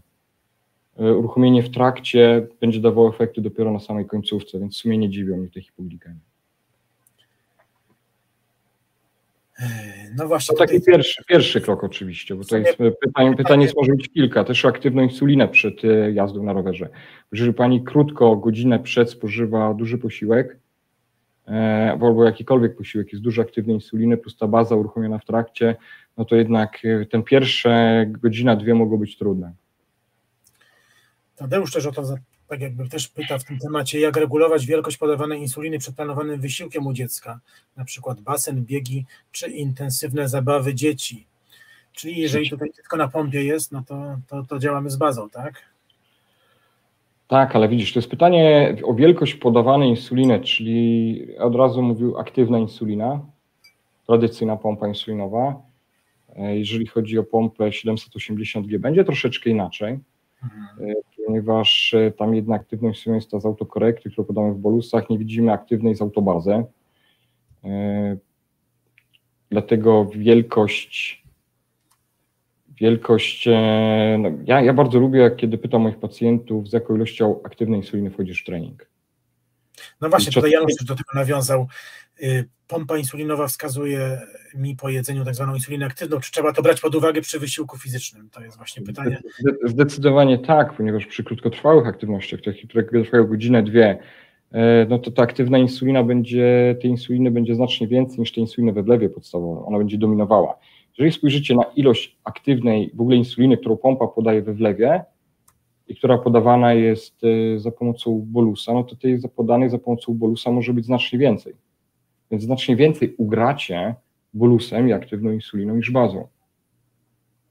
Oczywiście im dłużej trwa aktywność, wtedy ta dominacja bazy jest większa, wtedy bardziej przydaje się baza i na pewno da efekt. Tak, ale to można, widzicie, na te pytania mogę, można odpowiadać dosyć precyzyjnie. No właśnie, panie doktorze, a jak to się ma do tych sportowców takich już, nazwijmy to, zawodowych, tak? gdzie, gdzie ten sport rzeczywiście im towarzyszy na co dzień, ten sport uprawiają e, wyczynowo. Czy w takiej, w takiej opiece nad takim pacjentem też pan doktor doszukuje się jakichś prawidłowości, czy tutaj już jakby każdy dzień jest inny i wszystko, i wszystko tutaj jakby, no ciężko cokolwiek przewidzieć, tak? I tutaj już jest taka no, totalna improwizacja w prowadzeniu takiego pacjenta już na takiej poziomie zawodowym. E, przede wszystkim e, dopatrujemy się prawidłowości, ponieważ oni trenują regularnie mhm. E, i ta praca wbrew pozorom jest łatwiejsza, ponieważ ale też jest łatwiejsza, ponieważ sportowców wyczynowych przede wszystkim znaczy więcej kłopotów sprawiają hiperglikemia. Jak wiemy, ta hipoglikemia jest zawsze bardziej niebezpieczna, bardziej się obawiana. Więc to, co będzie cechowało osobę o dużej wydolności, osobę wytrenowaną, która trenuje regularnie, jednak skłonność do hiperglikemii, a mniejsza skłonność do hipoglikemii. Hipoglikemia pojawia się najczęściej, kiedy na okresie roztrenowania, kiedy trenujemy nieregularnie. Dotyczy tych osób, które mają, które trenują intensywnie i nieregularnie. Wtedy jest największy problem. Więc e, pod tym względem to jest pewną regułą. E, poza tym ze sportowcami wyczynowymi pracuje się o tyle łatwiej, że to są osoby niezwykle zdyscyplinowane ponieważ w tym momencie dbanie o glikemię i w ogóle leczenie cukrzycy staje się częścią e, profesjonalnego treningu. Więc e, też jest e, niesamowita determinacja. I to są, to są trochę, trochę tak jak panie w okresie ciąży. Wówczas też ta kontrola jest, jest, jest dużo lepsza.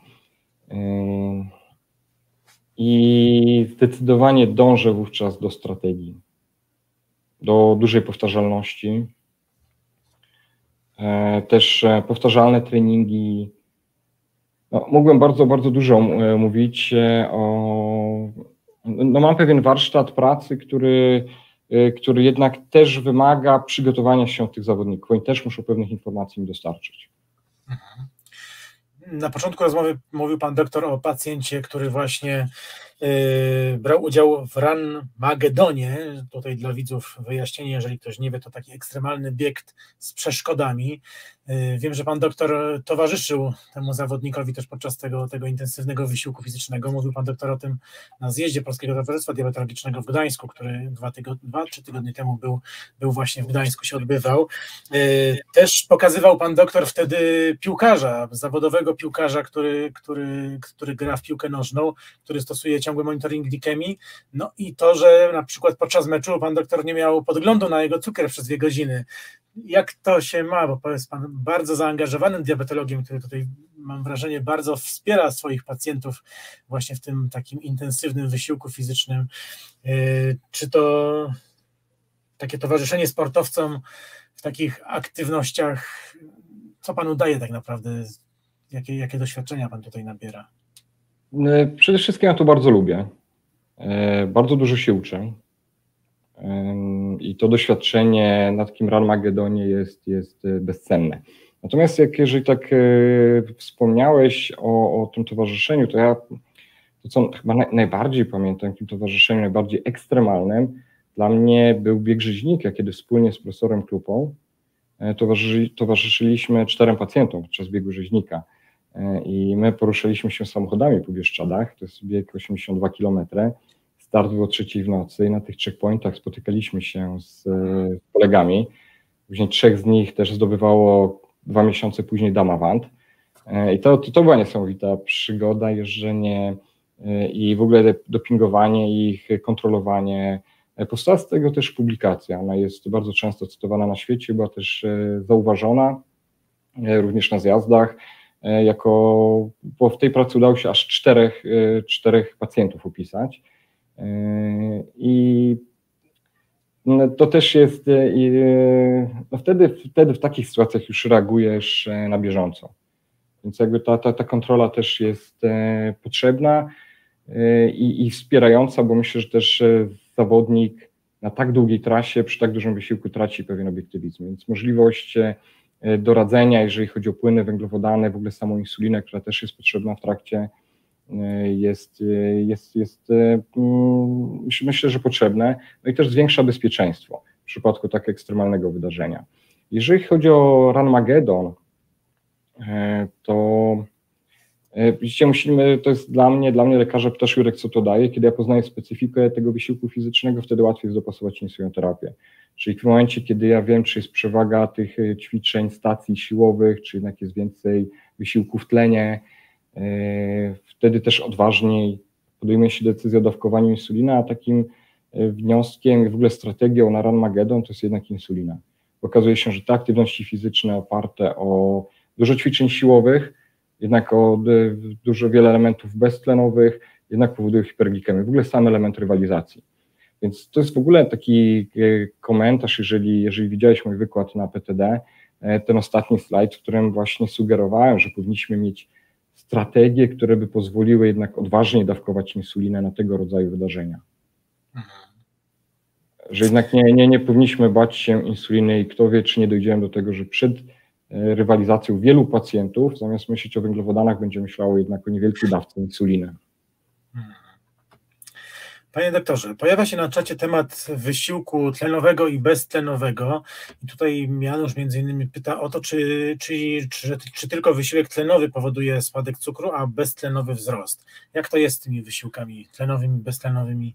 Proszę nam to przybliżyć ten temat tych dwóch rodzajów wysiłków, jak to, jak to, to jest, e, to jest, e, mówiąc o tym, e, to pokazuje, że też my jesteśmy w ogóle jako społeczność w Polsce jesteśmy bardziej zaawansowani w naszej wiedzy i doświadczeniu w ogóle sportowym, ale też tym diabetologicznym, ponieważ my już nie mówimy wysiłek, tylko właśnie mm, rozróżniamy. Tlenowy, na przykład beztlenowy jest też mieszany. No, jeżeli insulina została podana, nie popełniliśmy jakichś takich kardynalnych błędów insulinoterapii, no to pewniakiem jest, możemy powiedzieć prawie pewniakiem, o ile cokolwiek w cukrzycy i w insulinoterapii jest pewne, e, że wysiłek tlenowy przedłużający długi wysiłek tlenowy będzie powodował hipoglikemię obniżenie glikemii. I zresztą takie są też dowody naukowe, takich prób jest bardzo wiele. W ogóle wysiłek tlenowy też w trakcie wysiłku jest znacznie większe ryzyko hipoglikemii i, i obniżenie glikemii, ale też całą dobę po takim wysiłku fizycznym też jesteśmy bardziej narażeni na hipoglikemię niż na przykład po treningach oporowych czy, czy w ogóle beztlenowych. I to też, też, też zostało udowodnione dzięki systemom ciągłego monitorowania glikemii, no, które właśnie udowodniły nam, że słuchajcie, trening to nie jest tylko tu i teraz, sam trening, hipoglikemia w trakcie treningu czy krótko po treningu, ale tak naprawdę intensywny trening to jest zmiana funkcjonowania naszego organizmu przez 24 godziny. A jest takie okienko, kiedy szczególnie musimy uważać, to jest 6-7 godzin po wysiłku fizycznym. 6-7, a kolejny taki czas to są właśnie 24 godziny. Więc e, regułą wysiłku tlenowego jest obniżenie glikemii. Czy każdy wysiłek beztlenowy spowoduje hiperglikemię? Tego stwierdzenia e, to jest, e, tak nie mogę powiedzieć, ale jak najbardziej tendencja do hiperglikemii po wysiłku beztlenowym jest też, też jest pewniakiem, też została naukowo udowodniona. Ja mam w głowie tak w pamięci taką sytuację, to jeden chyba z profesorów na jakimś wykładzie mówił, yy, że właśnie jeżeli pacjent jest i ma niedocukrzenie i nie ma przy sobie nic słodkiego i nie, nie ma po prostu możliwości, to tak e, by zaryzykował stwierdzenie, że szybkie, szybkie skoki by wtedy zalecił, żeby, żeby zrobić rzeczywiście ten beztlenowy wysiłek, że, że to może spowodować wzrost, wzrost tej glikemii. Tak, to mi się tak wbiło w pamięć. Jest, zalecenie w razie co, gdy, jeżeli nie mamy nic przy sobie, przy sobie słodkiego na, na wypadek hipoglikemii, to właśnie zaleciłby wysiłek taki beztlenowy. Ja to nawet po, po opowiadam czasami moim pacjentom trochę, trochę barwniej, kiedy jesteś w środku ciemnego lasu i po prostu już się zgubiłeś i nie masz ze sobą węglowodanów. Już odczuwasz tą hipoglikemię i już naprawdę, nie wiem, wszystkie jagody zostały zjedzone do, dookoła, to wtedy najlepiej, gdybyś spotkał jakiegoś wilka albo niedźwiedzia, albo po prostu się zdenerwował, albo z takim sprintem rzucił się w ten las, to wówczas jednak adrenalina, hormony, y, mobilizacja, y, produkcja E, glukozy ta endogenna może cię uratować. Czyli coś w tym jest po prostu, można powiedzieć. Panie doktorze, y, Maciek pyta, też a propos wysiłku tlenowego, beztlenowego, jak to jest z wrażliwością na insulinę w dłuższej perspektywie czasowej? E, to jest e, dobre pytanie, to jest pytanie naukowe, ponieważ to jest w ogóle pytanie o rodzaj treningów, które prowadzimy. Okazuje się, że jak jednak spojrzysz na takie metaanalizy, e, to mm, wiecie, to jest też trudno zmierzyć, bo to trzeba, żeby taki efekt uzyskać w dłuższej perspektywie, no to są badania bardzo trudne do przeprowadzenia, bo musisz mieć, e, przede wszystkim pilnować tych pacjentów i muszą współpracować z tobą, muszą długi czas ten trening e, utrzymywać, później to trzeba monitorować, oczywiście ocenić też ich insulinowrażliwość, E, I tutaj takich różnic, e, różnic nie ma, natomiast jest pewne wskazanie na trening siłowy, szczególnie w pacjentów z cukrzycą typu drugiego. No właśnie, musimy jeszcze rozróżnić typ pierwszy i typ drugi, mężczyzny, mężczyzn i kobiety. I szczególnie jeżeli chodzi o trening ten siłowo-porowo, on jest zalecany w cukrzycy typu drugiego, szczególnie mężczyznom, ponieważ e, u nas dochodzi z wiekiem do tego zjawiska po prostu zaniku tkanki mięśniowej. I możemy nie zmieniać masy ciała, ale możemy zmieniać skład masy ciała. Więc w ogóle dla wszystkich osób z insulinoopornością trening siłowy jest jak najbardziej zalecany, ale jako uzupełnienie naszego treningu tlenowego. I to jest nawet zalecane 2-3 razy w tygodniu. E, jeżeli to ma być naprawdę trening siłowy, to musi być taki ciężar, wiecie, 10-12 powtórzeń. Też dobrze, gdyby to duże grupy mięśniowe. Wtedy ten efekt jest, jest e, lepszy. Jeżeli będzie ktoś tylko nad bicepsem pracował, no to takiego efektu nie będzie, ale mięśnie grzbietu, uda, e, ogóle barki, w ogóle duże grupy mięśniowe, więc wtedy trening siłowy jak, jak, jak, jak najbardziej, w dłuższej, dłuższej perspektywie. Natomiast też pamiętajcie, że trening tlenowy, taki długotrwały, zmienia też e, trochę inaczej wpływa na sylwetkę, bo to jest jednak e, maratończyk, prawda? Czyli wówczas to też zależy od wyjściowej masy ciała, jak to wpłynie na insulinowrażliwość, bo jednak długim tlenowym będziemy nam łatwiej e, zredukować masę ciała, jeżeli oczywiście będziemy, wytrzymamy w dłuższej perspektywie. Jeszcze jest jedno pytanie tutaj od Joanny. Y, pyta o aktywność fizyczną y, u pacjentów na pompach typu do it yourself, czyli na tych pompach, którzy sobie sami tworzymy tak naprawdę. Jak się sprawdza pętla w takich, w takich przypadkach? Czy ma Pan doktor jakieś doświadczenia u, u takich pacjentów? Tak, jeżeli chodzi o DIY, no to musicie, no z DIY jest trochę, tam jest insulina aktywną, pokazuje również ta z autobazy, czyli z bazę po prostu. E, która jest, e, więc e, na przykład w porównaniu DIY A780G, bo takie mamy doświadczenia w Polsce, jest trochę inna informacja o aktywnej insulinie. Dla mnie, dla mnie jednak potencjalnie zawsze aktywnej insuliny w systemach pętlowych będzie więcej. Więc bardziej bym skłonny do jednak do wstrzymywania, wstrzymywania, zatrzymywania pompy, no mamy tutaj oczywiście inne, też inne opcje w systemach pętlowych, czy na przykład wyższego celu, e, wartości docelowej dla, dla tych urządzeń. E, łatwiej jest też prowadzić e, tą mm, po treningu, tą opiekę taką potreningową, szczególnie wówczas, kiedy pompa jest odłączana, kiedy brakuje nam insuliny, wtedy te systemy znacznie szybciej nadrabiają niedobór insuliny. Mhm. To, to też, jest, też jest bardzo pomocne. Z systemami pętlowymi też na przykład musimy uważać na węglowodany, które spożywamy przed treningiem. Bo zobaczcie, jeżeli ktoś postanowi godzinę wcześniej uzupełniać węglowodany, będzie spożywał węglowodany, będzie wzrastała glikemia, system będzie też automatycznie reagował i zwiększał napływ insuliny. Więc tutaj węglowodany należałoby spożywać bardzo krótko przed treningiem i może już kto wie, czy nie na zatrzymanej pompie insuliny. Wtedy możemy rzeczywiście uzyskać realny wzrost, a nie wzrost i też e, zwiększony napływ insuliny. No tak. Więc no jest, to, jest to trochę, trochę inna, inna, inna filozofia y, myślenia, no też, też wymagająca, jak widzicie, edukacji. Dziękujemy za odpowiedź na to pytanie. No i teraz trochę powróćmy do zaleceń Polskiego Towarzystwa Diabetologicznego, bo tak naprawdę dopiero w 2001 roku mam wrażenie, tak jakby bardziej Państwo lekarze, Państwo diabetolodzy pochylili się nad tematem aktywności fizycznej, bo w 2001 roku powstał nowy rozdział, tak zwany rozdział siódmy, nastąpiło w ogóle przesunięcie numeracji rozdziałów. Rozdział siódmy pod tytułem Zasady podejmowania wysiłku fizycznego i uprawiania sportu przez osoby z cukrzycą. Wcześniej w zaleceniach, panie doktorze, o sporcie pewno było trochę mniej. Tutaj już podkreślono bardzo istotę leczenia y, cukrzycy właśnie przy pomocy wysiłku fizycznego. Jakie jeszcze inne zagadnienia wprowadził ten rozdział do zaleceń?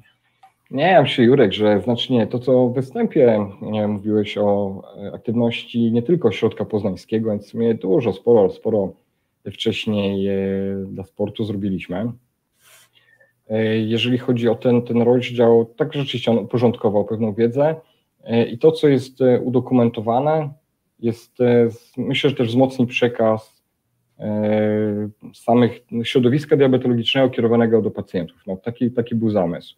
Bo oczywiście wiele tych informacji było znanych, ten rozdział zawiera wiele informacji praktycznych. Tam właśnie rozprawiamy się z tą hiperglikemią, którą to pierwsze Twoje pytanie, jedno z pierwszych. Rzeczywiście możemy, możemy podjąć. E, aktywność. E, wcześniej w zaleceniach PTD była taka informacja, że maksymalny wysiłek fizyczny może spowodować dekompensację cukrzycy, no co w tej chwili wiem, że nie jest prawdą. Może dawniej, kiedy to jednak samokontrola glikemii, jednak sama insulinoterapia była bardziej ułomna, takie sytuacje mogły się zdarzyć, bo jednak inaczej reagowaliśmy i mniej skutecznie na hiperglikemię. A więc, e, więc ta, ta, ta zmiana uważam też była potrzebna. E, w tym rozdziale też e, pewnym takim mitem jest często, jak mówimy pacjentów, pytamy o glukagon, to zawsze takie drugie, trzecie zdanie pada, że po alkoholu, po wysiłku fizycznym nie działa. No rzeczywiście, no jeżeli jest e, po bardzo długotrwałym wysiłku fizycznym wielogodzinnym, no te zapasy glikogenu mogą być uszczuplone, ale ten glukagon zawsze należy podać. Tam też jest e, zawarta bardzo ważna informacja, że po ciężkiej Czyli alkoholu też, żeby była jasność, zawsze też warto podać, tak? Warto podać, słuchajcie, bo jeżeli ktoś ma glikemię, ja podaję zawsze przykład, 25 mg na decylitr e, i ten glukagon w pełni nie zadziała, ale jeżeli ta glikemia wzrośnie, nie wiem, do 40, on otworzy, odzyska świadomość, a my będziemy mogli już go dosłodzić, a jesteśmy gdzieś w terenie, czekamy na karetkę, to oczywiście zawsze, zawsze, kochani, tą próbę należy podjąć. I tą informację też tam też, też zawarliśmy. E, w tym roku pojawił się nowy rozdział 2022 dotyczący aktywności fizycznej u pań z zaburzeniami gospodarki węglowodonowej, które są w ciąży. I jakie tutaj zmiany?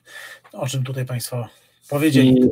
I, I, dlaczego? To jest związane z tym, aby paniom i w ogóle lekarzom dodać trochę więcej odwagi w zalecaniu aktywności fizycznej w ciąży. Stare panie nie muszą się aż tak oszczędzać i e, ten, e, ten, ten podrozdział powstał przy zaangażowaniu pomocy pani profesor Wender Orzegowskiej. Mhm. E, I to też nie jest przypadek, ponieważ pani profesor w młodości wyczynowo uprawiała pływanie, jest mistrzem, mistrzynią Polski seniorów w pływaniu. Więc jednak ten duch sportu, jak widzisz, w PTD jest bardzo mocny. I, i tutaj, panie profesor, jak najbardziej tutaj wskazaliśmy nawet do 60 80% limitu tętna do tej częstości 140 na minutę, na taką wartość wskazaliśmy, jeżeli chodzi o intensywność wysiłku dla pań w ciąży, e, czyli też do 150 minut na tydzień, regularnie, trzy razy w tygodniu, e, czyli wysiłek do, powiedzmy do tętna 140 na minutę, również w ciąży, no nie jest tylko spacerem, takim wskazaniem oczywiście na ćwiczenia tlenowe, e, rozciągające, nawet z użyciem niewielkich ciężarków e, wzmacniających mięśnie, e, jak najbardziej tak. Mhm. E, tutaj widzowie piszą, że, że dobrze, że ten temat właśnie został podjęty dotyczący właśnie kobiet w ciąży i tej, i tej aktywności fizycznej właśnie dla kobiet w ciąży. Zerkam jeszcze na pytania, które się pojawiały, czy coś tam tutaj jeszcze zostało. W sumie mamy dwa podobne pytania, więc może je tutaj jakby połączmy. Wielkość dawki korekty reduku- zredukować, jak, jak zredukować wielkość dawki korekty przed wysiłkiem, jeżeli wiemy, z czego wynika hiperglikemia. I tutaj takie też pytanie podobne, o ile zmniejszamy dawkę insuliny przed planowanym wysiłkiem i po jakim czasie od posiłku najlepiej rozpocząć wysiłek. Boję się spadków, co najlepiej mieć ze sobą, by dojeść, na przykład banana, pyta Agnieszka. To jest, to jest wielkie pytanie o redukcję dawki insuliny. Tak odpowiadając książkowo, to jest e, bardzo szeroki zakres, zaznaczony od 25 do 75%. E, I wszystkie te odpowiedzi są prawidłowe. Ja najczęściej taką, jeżeli ćwiczymy w szczycie działania insuliny, to jest, na to uczulam swoich chorych. Słuchajcie, uważajcie na szczyt działania insuliny. Mhm. Czy czy pompa, wtedy się najwięcej dzieje. Wtedy jest ryzyko utraty przytomności, ciężkiej hipoglikemii, więc e, szczególnie wtedy dzieci, e, młodzież, jeżeli ktoś naprawdę nie myśli o tym, nie kontroluje glikemii, no to jest ten okres, kiedy musimy być wyczuleni. Drugą taką sytuacją jest, kiedy ta aktywność trwa bardzo długo. No to wówczas też to ryzyko hipoglikemii, również tej ciężkiej wzrasta. Mówiąc o szczycie działania insuliny, najczęściej zalecam swoim pacjentom redukcję o połowę, o połowę dawki insuliny. Jak miałem tak odpowiedzieć, wiecie, dać jako jedną receptę, żeby pogodzić wszystkich, to myślę, że odważnie redukujemy o połowę. No oczywiście zakładam, że to jest aktywność, która będzie trwała no przynajmniej 30 minut, ale, ale, ale dłużej, tak, która będzie trwała godzinę, to jest naprawdę redukcja dawki o połowę i zawsze musimy mieć ze sobą węglowodany. I tak, tak e, zastanawiałem się, e, e, to, to pytanie mm, o banana, no to, o, to nawet mam przypadkowo, jak byłem przed webinarem się szykowałem, to ja sobie też pomyślałem o węglowodanach, i to nie jest na potrzeby webinaru, tylko tak po prostu. Zobaczcie, mm, szybkie węglowodany. Więc ja dla sportowców jestem zdecydowanie zwolennikiem e, dekstrozy, żelu, tubek, czegoś, co jest lekkie, poręczne, w niewielkiej objętości ma 3-4 mm, wymienniki, wtedy, wtedy możemy się czuć naprawdę bezpiecznie, co oczywiście nie oznacza, że w momencie, kiedy mamy tą glikemię powiedzmy około 100 mg na decylit, potrzebujemy węglowodanów, że od razu musimy wszystko zjeść, prawda? Bo to nie jest tak, że na każdy spadek musimy zawsze odpowiedzieć wszystkimi węglowodanami, które mamy ze sobą i też czasami starczy, kiedy mamy ciągłe monitorowanie glikemii, y, jeden, dwa wymienniki, słuchajcie, mamy czas, możemy obserwować, patrzeć na strzałki trendu, y, ale myślę, że bezpieczeństwo, jeżeli Pani się obawia, E, to bezpieczeństwo zdecydowanie zwiększają też szybkie węglowodany i też łatwo, które są poręczne. Które, słuchajcie, no w sekundę e, po prostu otworzymy i mamy je pod językiem. Mhm. I tak naprawdę się wchłaniają od razu w jamie tak, ustnej. Tak, no, na, naprawdę, słuchajcie, no, dekstroza, dekstroza wchłania się i w ogóle te wszystkie płyny e, wchłaniają się naprawdę szybciej niż banany. To, to, jest, to jest skuteczne. Co, co też sprawia, słuchajcie, jeżeli teraz znowu skieruję to słowo, bo pytaliśmy o sportowców wyczynowych, to oczywiście to nie jest tak, że u wyczynowych nie ma hipoglikemii, ale każdy z Was, który startuje w zawodach, zależy Wam na wyniku, na budowaniu formy, e, zależy Wam na, na no w ogóle myślicie o takiej karierze sportowca, to nie możecie dopuszczać do hipoglikemii, bo hipoglikemia osłabia. Jeżeli ktoś się rywalizuje nawet w biegu na 5-10 km na początku, schwyci hipoglikemię, no to jego szanse spadają. Jeżeli zależy Wam na wyniku, a się przygotowywaliście długo, no to, to szkoda, szkoda, bo będziecie po prostu słabsi. I to, to już wiemy, że czasami, jeżeli to jest pełnoobjawowa hipoglikemia, że już e, nie dogonimy tego wyniku, który mógłby być, prawda? E, dlatego, dlatego też na to, na to bardzo uczulam i w momencie, kiedy masz szybkie węglowodany, szybciej zareagujesz, ta kontregulacja jest słabsza, w ogóle te objawy są mniej nasilone, po prostu będziecie się lepiej czuli, będziecie silniejsi. Chciałem jeszcze powiedzieć o fajnej inicjatywie, bo co roku pan doktor wyjeżdża z Fundacją Debetczaki na obóz sportowy piłki nożnej dla młodzieży z cukrzycą typu pierwszego w Kleszczowie. Jakby pan doktor nam trochę opowiedział o idei tego obozu, no i o założeniach medycznych, jakie tam się pojawiają, bo, bo to jest też ciekawy temat. No, to jest idea. E, Jurku, to jest skupione wokół Fundacji Diabeciaki, ogromny wysiłek e, Basi Kucharskiej, pani profesor Agnieszki Szatkowskiej. Idea polega na tym, aby przede wszystkim my podczas tych spotkań pracujemy z chłopcami, którzy grają w klubach. Znaczy tam są jednak e, chłopcy, którym zależy. Dla których w ogóle widać, wielu z nich marzy o karierze, to jest, to jest pozytywne Wielu z nich też już rywalizuje powiedzmy na szczeblu, szczeblu krajowym. Dwóch chłopaków, można powiedzieć, w tej chwili ociera się o zawodową piłkę. Więc e, im poświęcamy trochę więcej czasu, też edukacyjnie i też badawczo.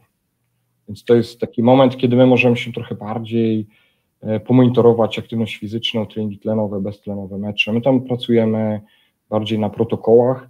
Co jak mnie pytaj znowu o ten warsztat pracy ze sportowcami wyczynowymi, to, to, to tam staramy się wypracować dużą powtarzalność. Więc ale jest to, to, ale oprócz tego wiecie, no dobrze się bawimy, no bo to jest ekipa, wesoła ekipa. W tym roku na tym obozie będą pierwszy raz dziewczyny. W tamtym roku jedna dziewczyna z nami grała, e, do, codziennie dołączała, a teraz e, na liście mamy trzy, trzy dziewczyny, jeszcze jedną namawiałem, też reprezentantkę e, kadry wojewódzkiej z województwa lubuskiego. To byśmy mieli pierwszy raz cztery dziewczyny, nie tylko chłopaków. Yy, no w ogóle sporo, sporo się dzieje. To mam dwa treningi dziennie, mecze, wieczory spędzam na siłowni, na basenie. Czyli dużo aktywności fizycznej, jak to, jak to przy cukrzycy. Tak, jak, jak to z piłkarzami. Trzeba ich trzymać w ryzach. I... No właśnie, i był pan doktor również y, w roli lekarza y, w drużynie pacjentów z cukrzycą typu pierwszego, którzy zdobyli najwyższy szczyt Iranu Damawand. Już pan doktor wspominał o tym, ponad 5600 metrów nad poziomem morza. Jak pan doktor z perspektywy czasu wspomina tą wyprawę i jakie wspomnienia towarzyszą tej wyprawie? Jurek, że się przygotowałeś do rozmowy ze mną dzisiaj. Jak zwykle. E, jak ja to wspominam, to wieloaspektowo. To jest e, to, co mówiłem na wstępie, daliśmy mocny sygnał. Śmiem twierdzić, że 18 pacjentów z cukrzycą typu pierwszego zdobyło Damawand, czyli wszyscy, którzy planowali, nikt nie odpadł po drodze. E, I to jest chyba najbardziej, najliczniejsza ekipa w świecie, która weszła tak wysoko. Powstały z tego dwie publikacje, e, kilka publikacji takich międzynarodowych, dwie w zasadzie trzy, z, z, z, takim listem do redakcji, kiedy to już zostało krótko po wyprawie, jakby ogłosiliśmy, mm, że, że nam to się udało, umieszczają zdjęcia, więc jest to pozytywne. Również na konferencji tego Europejskiego Towarzystwa Diabetologicznego, e, to też zostało na inauguracji jednej z konferencji, e, zostało to również zdjęcie nasze z polską flagą, całej ekipy na szczycie, również zostało pokazane. E, więc to jest to, o czym mówiłeś w wstępie, że tutaj Polskie Towarzystwo Diabetologiczne, środowisko, no to był silny sygnał. Więc my, to, to oczywiście mm, też jest potrzebne. Poza tym zdobyliśmy ogromne doświadczenie, którym też się podzieliliśmy. Ono dotyczyło samego wyrównania hiperglikemii, też działania sprzętu, który się sprawdzał, glukometrów, pomp insulinowych, że jednak one też mogą w sposób prawidłowy działać w warunkach, które nawet nie są opisywane w instrukcji obsługi, również powyżej 5000 metrów. W ogóle trochę mm, zapoznaliśmy się z chorobą wysokogórską i co się dzieje z glikemiami na tak znacznej wysokości. Więc jak pytasz, jak ja to wspominam, to mam mieszane uczucia, bo było niezwykle ciężko. E, to było jednak choroba wysokogórska jest mm, dolegliwości i w ogóle to, jak się człowiek czuje, jest naprawdę ekstremalne.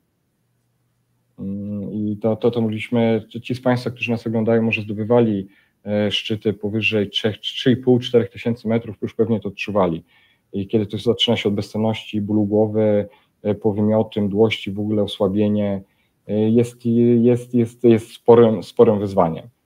Więc oczywiście dla nas też, e, dla lekarzy, dla nas prowadzenie protokołów, aby ten cały materiał badawczy zebrać, dla nas też była e, praca, więc to nie była tylko wycieczka, nie koncentrowaliśmy się tylko na sobie, tylko też musieliśmy się koncentrować na wszystkim, co się dzieje dookoła, e, co w warunkach beztlenowych było niezwykle, niezwykle wymagające, ale no, no myślę, że dostarczyło nam też dużo, dużo satysfakcji. W ogóle sama, wiecie, praca w grupie, kiedy mamy ten sam cel, nasz okrzyk, taki, który pewnie widzieliście na filmach na YouTubie, damy radę, to, to mobilizowanie się e, no jest, no jest przygodą życia, więc jest to, jest, to, jest to niesamowite, ale jak widzicie w mojej wypowiedzi wybrzmiewa, że tam było naprawdę ciężko. Było niebezpiecznie i, i, i, i było to trudne. Mieliśmy też troszeczkę krótszy czas na adaptację. Część naszej ekipy wówczas przez był ten pucz lipiec 2016 w Turcji, bo niebo zamknięte, ekipa, która leciała, część ekipy E, między innymi pan profesor Klupa, oni dolecieli dzień później, straciliśmy przez to jeden dzień na adaptację, co stało też się e, trudniejsze, no ale wiecie, no jak to Polacy, daliśmy radę. Oj, moi drodzy widzowie, jak widzicie, jak widzicie tutaj można można i trzeba od takiej najprostszej aktywności fizycznej do, do nawet tak ekstremalnych rzeczy jak wchodzenie, wspinanie się po górach, jak obozy piłkarskie, granie w piłkę i różnego tego typu rzeczy się dzieją. Pan doktor tutaj towarzyszy swoim pacjentom i, i, i kontroluje i, i, pomaga wdrożyć które leczenie. To jest niesamowite, że, że tak to wszystko się udaje, udaje ogarnąć. No i oczywiście tutaj no, niesamowite efekty, niesamowite efekty, także no, trzeba się brać i rzeczywiście wstawać z tego fotela, więc dbając już o zdrowie naszych widzów, powolutku będziemy zmierzać ku końcowi, więc prosiłbym pana doktora jeszcze na takie słowo podsumowania i takie może, może taki zaszczyt, nazwijmy to, motywacji do, do ruchu, bo pewno nie u każdego z tą motywacją jest tak dobrze, jakby się chciało, żeby było. Tak, motywacja. Myślę, że dobrze, każdy z Was postawił sobie jakiś cel. E, bo jeżeli zrobił plan, cel, plan i stopniowo jakimiś etapami go realizował, to jest w ogóle dobry sposób, żeby wrócić.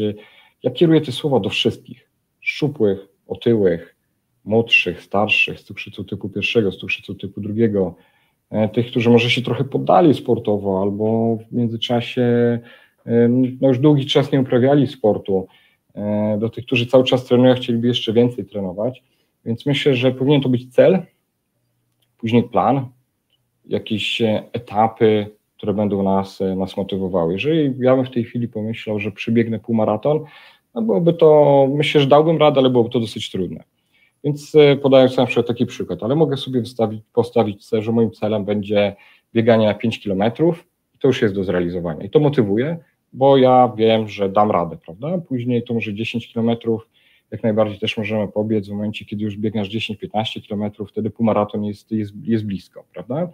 Ale gdyby każdy z Was tu i teraz, jak tak sobie słuchacie mnie i mówicie, hmm, półmaraton, no chyba, chyba nie, no to pomyślcie może właśnie o tych, tych etapach, więc y, do celu można dochodzić też etapami, to jest, to jest ważne, aby mieć, mieć taki plan.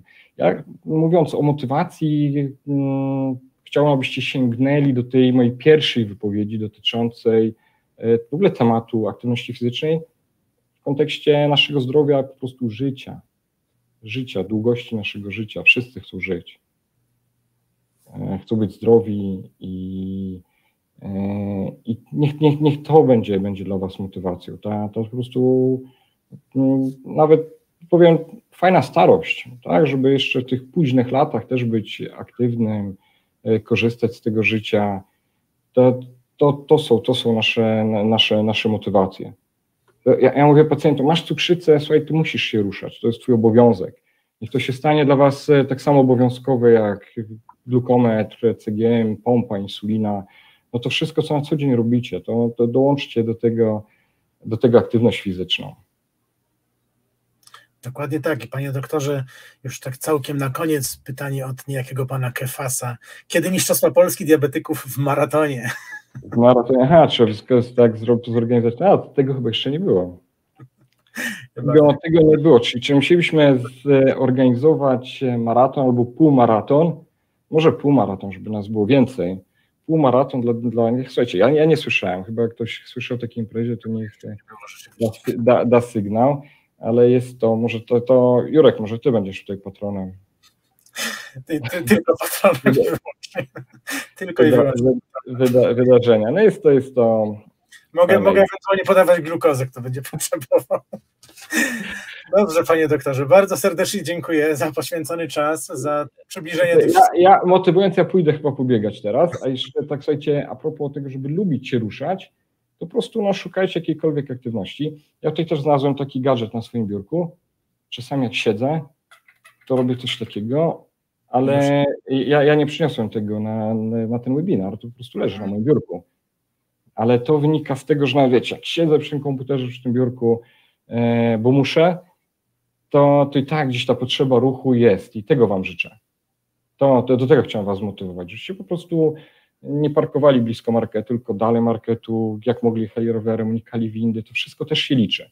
Po prostu lubić, lubić aktywność fizyczną e, i szukać jakichkolwiek powodów, nawet jeżeli to nie będą super profesjonalne treningi, bo tak jak jedna z Pań tutaj powiedziała, nie każdy rodzi się sportowcem. Mhm. Bardzo istotne rzeczy, bardzo serdecznie Panie doktorze, jeszcze raz Jurek, dziękuję. Jurek, a jeszcze ostatnie pytanie do Ciebie, a ja Ciebie zmotywowałem? Yy, tak, tak, tak, tak. Pomyślę nad tym. Pomyślę nad tym intensywnie. Muszę powiedzieć, że od już tak, wychodzimy z dziewczynkami na rowery od, od, od kilku dobrych dni, także, także jest, jest pozytywna motywacja. Już jak planowałem ten, no to nasze dzisiejsze spotkanie, to już, już ta aktywność się pojawiła w większym stopniu niż była, także jest dobrze, jest dobrze. W dobrym kierunku to idzie. Miejmy nadzieję, że będzie jeszcze lepiej. Chociaż ja muszę zaczynać od tych małych aktywności, no bo zrzućmy to na te problemy oczne. Okej, okay, ale powolutku, powolutku, powolutku, tak jak pan doktor mówi, y, etapami, tak, do celu. Także panie doktorze, jeszcze raz ukłony, serdeczne podziękowania, no i do zobaczenia. Wszystkiego dobrego dla pana doktora, dużo zdrowia. Dzięki za zaproszenie. Do widzenia, do zobaczenia. Dziękujemy. Moi drodzy, naszym doktorem, naszym doktorem, naszym gościem był dr Andrzej Gawrecki, specjalista chorób wewnętrznych i diabetologii. Y, który przyjmuje pacjentów w Poznaniu, między innymi w Szpitalu Miejskim imienia Franciszka Raszej. Bardzo serdecznie dziękujemy panu doktorowi za dzisiejsze spotkanie. Ja tu zerkam na wasze komentarze jeszcze. E, co pisaliście. E, zacznijmy od komentarza od Marzeny, która napisała Juruś, ty fajnie prowadzisz te programy. Dziękuję, bardzo miły komentarz. Jak zawsze przydatna wiedza, pisze Rosalia. E, Klaudia pyta, czy będzie jakieś spotkanie znowu, jeżeli tak, to jaki temat? Dziękuję za odpowiedzi na moje pytania. Klaudia, oczywiście, że będzie następne spotkanie, najprawdopodobniej już za tydzień w piątek o 20, ale przypominam też, że Pogadajmy o Cukrzycy ma już całkiem spore archiwum, to jest ponad 100 programów ponad 100 zaproszonych gości. Możecie te programy znaleźć na YouTubie, na Facebooku, na Twitterze. Także zapraszam, było dużo ciekawych tematów, więc można wrócić do czegoś. Na przykład tydzień temu było spotkanie z panią farmaceutą, też bardzo ciekawe, więc też można sobie odsłuchać, do czego gorąco, gorąco zachęcam. Iwona pisze, świetny temat i świetnie, że ludzie z cukrzycą odczarowują temat sportu, nawet zaawansowanego. Mi zapadły te słowa po wykładzie pana doktora dla osoby chorującej na cukrzycę. Sport to codzienny obowiązek i tak zaczęłam codziennie biegać i cukry pod kontrolą. Marta, dokładnie jak pan doktor mówi, przecież przyda się energia i dobra forma, by turlać się i nadążać za wnukami lub prawnukami. I jeszcze są Wasze komentarze, które zaraz tutaj odczytam, ale przypomnę tylko, że Partnerem dzisiejszego odcinka była firma Sanofi, za co bardzo serdecznie dziękujemy. Yy, I tak, dziękuję panie doktorze, super spotkanie, dziękuję, wspaniałe spotkanie, wpisze Agnieszka, super spotkanie, dziękuję, pisze Marcin, super program, dowiedziałam się o tylu ważnych rzeczach, dziękuję za motywację pięknego weekendu, pisze Marta. Grażyna dziękuję, Ewelina dziękuję, bardzo dziękuję panu doktorowi, pisze Piotr i tobie Jurku za jakże ciekawą dyskusję. Edyta pisze znakomity, praktyczny wykład, dużo zdrowia, dziękuję. Y, Joanna pisze, jak się ma pięciolatkę, to się ruszasz, czy chcesz, czy nie. Ja mam ośmiolatkę, sześciolatkę i czterolatkę, więc, więc mam trochę tego ruchu, tak czy siak, to rzeczywiście prawda. Y, dobra, bardzo ciekawe spotkanie, dziękuję, pisze Stasia. Prostolinijnych i jednostajnych poziomów dla wszystkich miłego weekendu, PS idę z pieskiem. O, tak, warto jeszcze się ruszyć na koniec dnia. Dzięki serdeczne za spotkanie i oczywiście przydatną wiedzę. Do zobaczenia, dziękuję za super odcinek, dzięki za dużo informacji, dzięki za moje pytania na wizji, pisze Joanna. Dziękuję drodzy widzowie, dziękuję, że byliście dzisiaj na naszym spotkaniu, że tak tutaj dużo komentarzy się pojawiało, dużo, dużo pytań, bardzo ciekawa, bardzo żywiołowa dyskusja, bardzo było mi miło gościć naszego dzisiejszego eksperta i Wam dziękuję za, za obecność, dobrych cukrów, miłego weekendu Wam życzę, zapraszam Was na kolejne odcinki programu Pogadajmy o cukrzycy, które już niebawem. I już tak całkiem na zakończenie jeszcze raz podziękowania dla firmy Sanofi, która objęła ten dzisiejszy odcinek y, swoim, y, która była partnerem tego dzisiejszego odcinka, to chciałem powiedzieć. Bardzo dziękuję, dobranoc, do zobaczenia w kolejnych programach.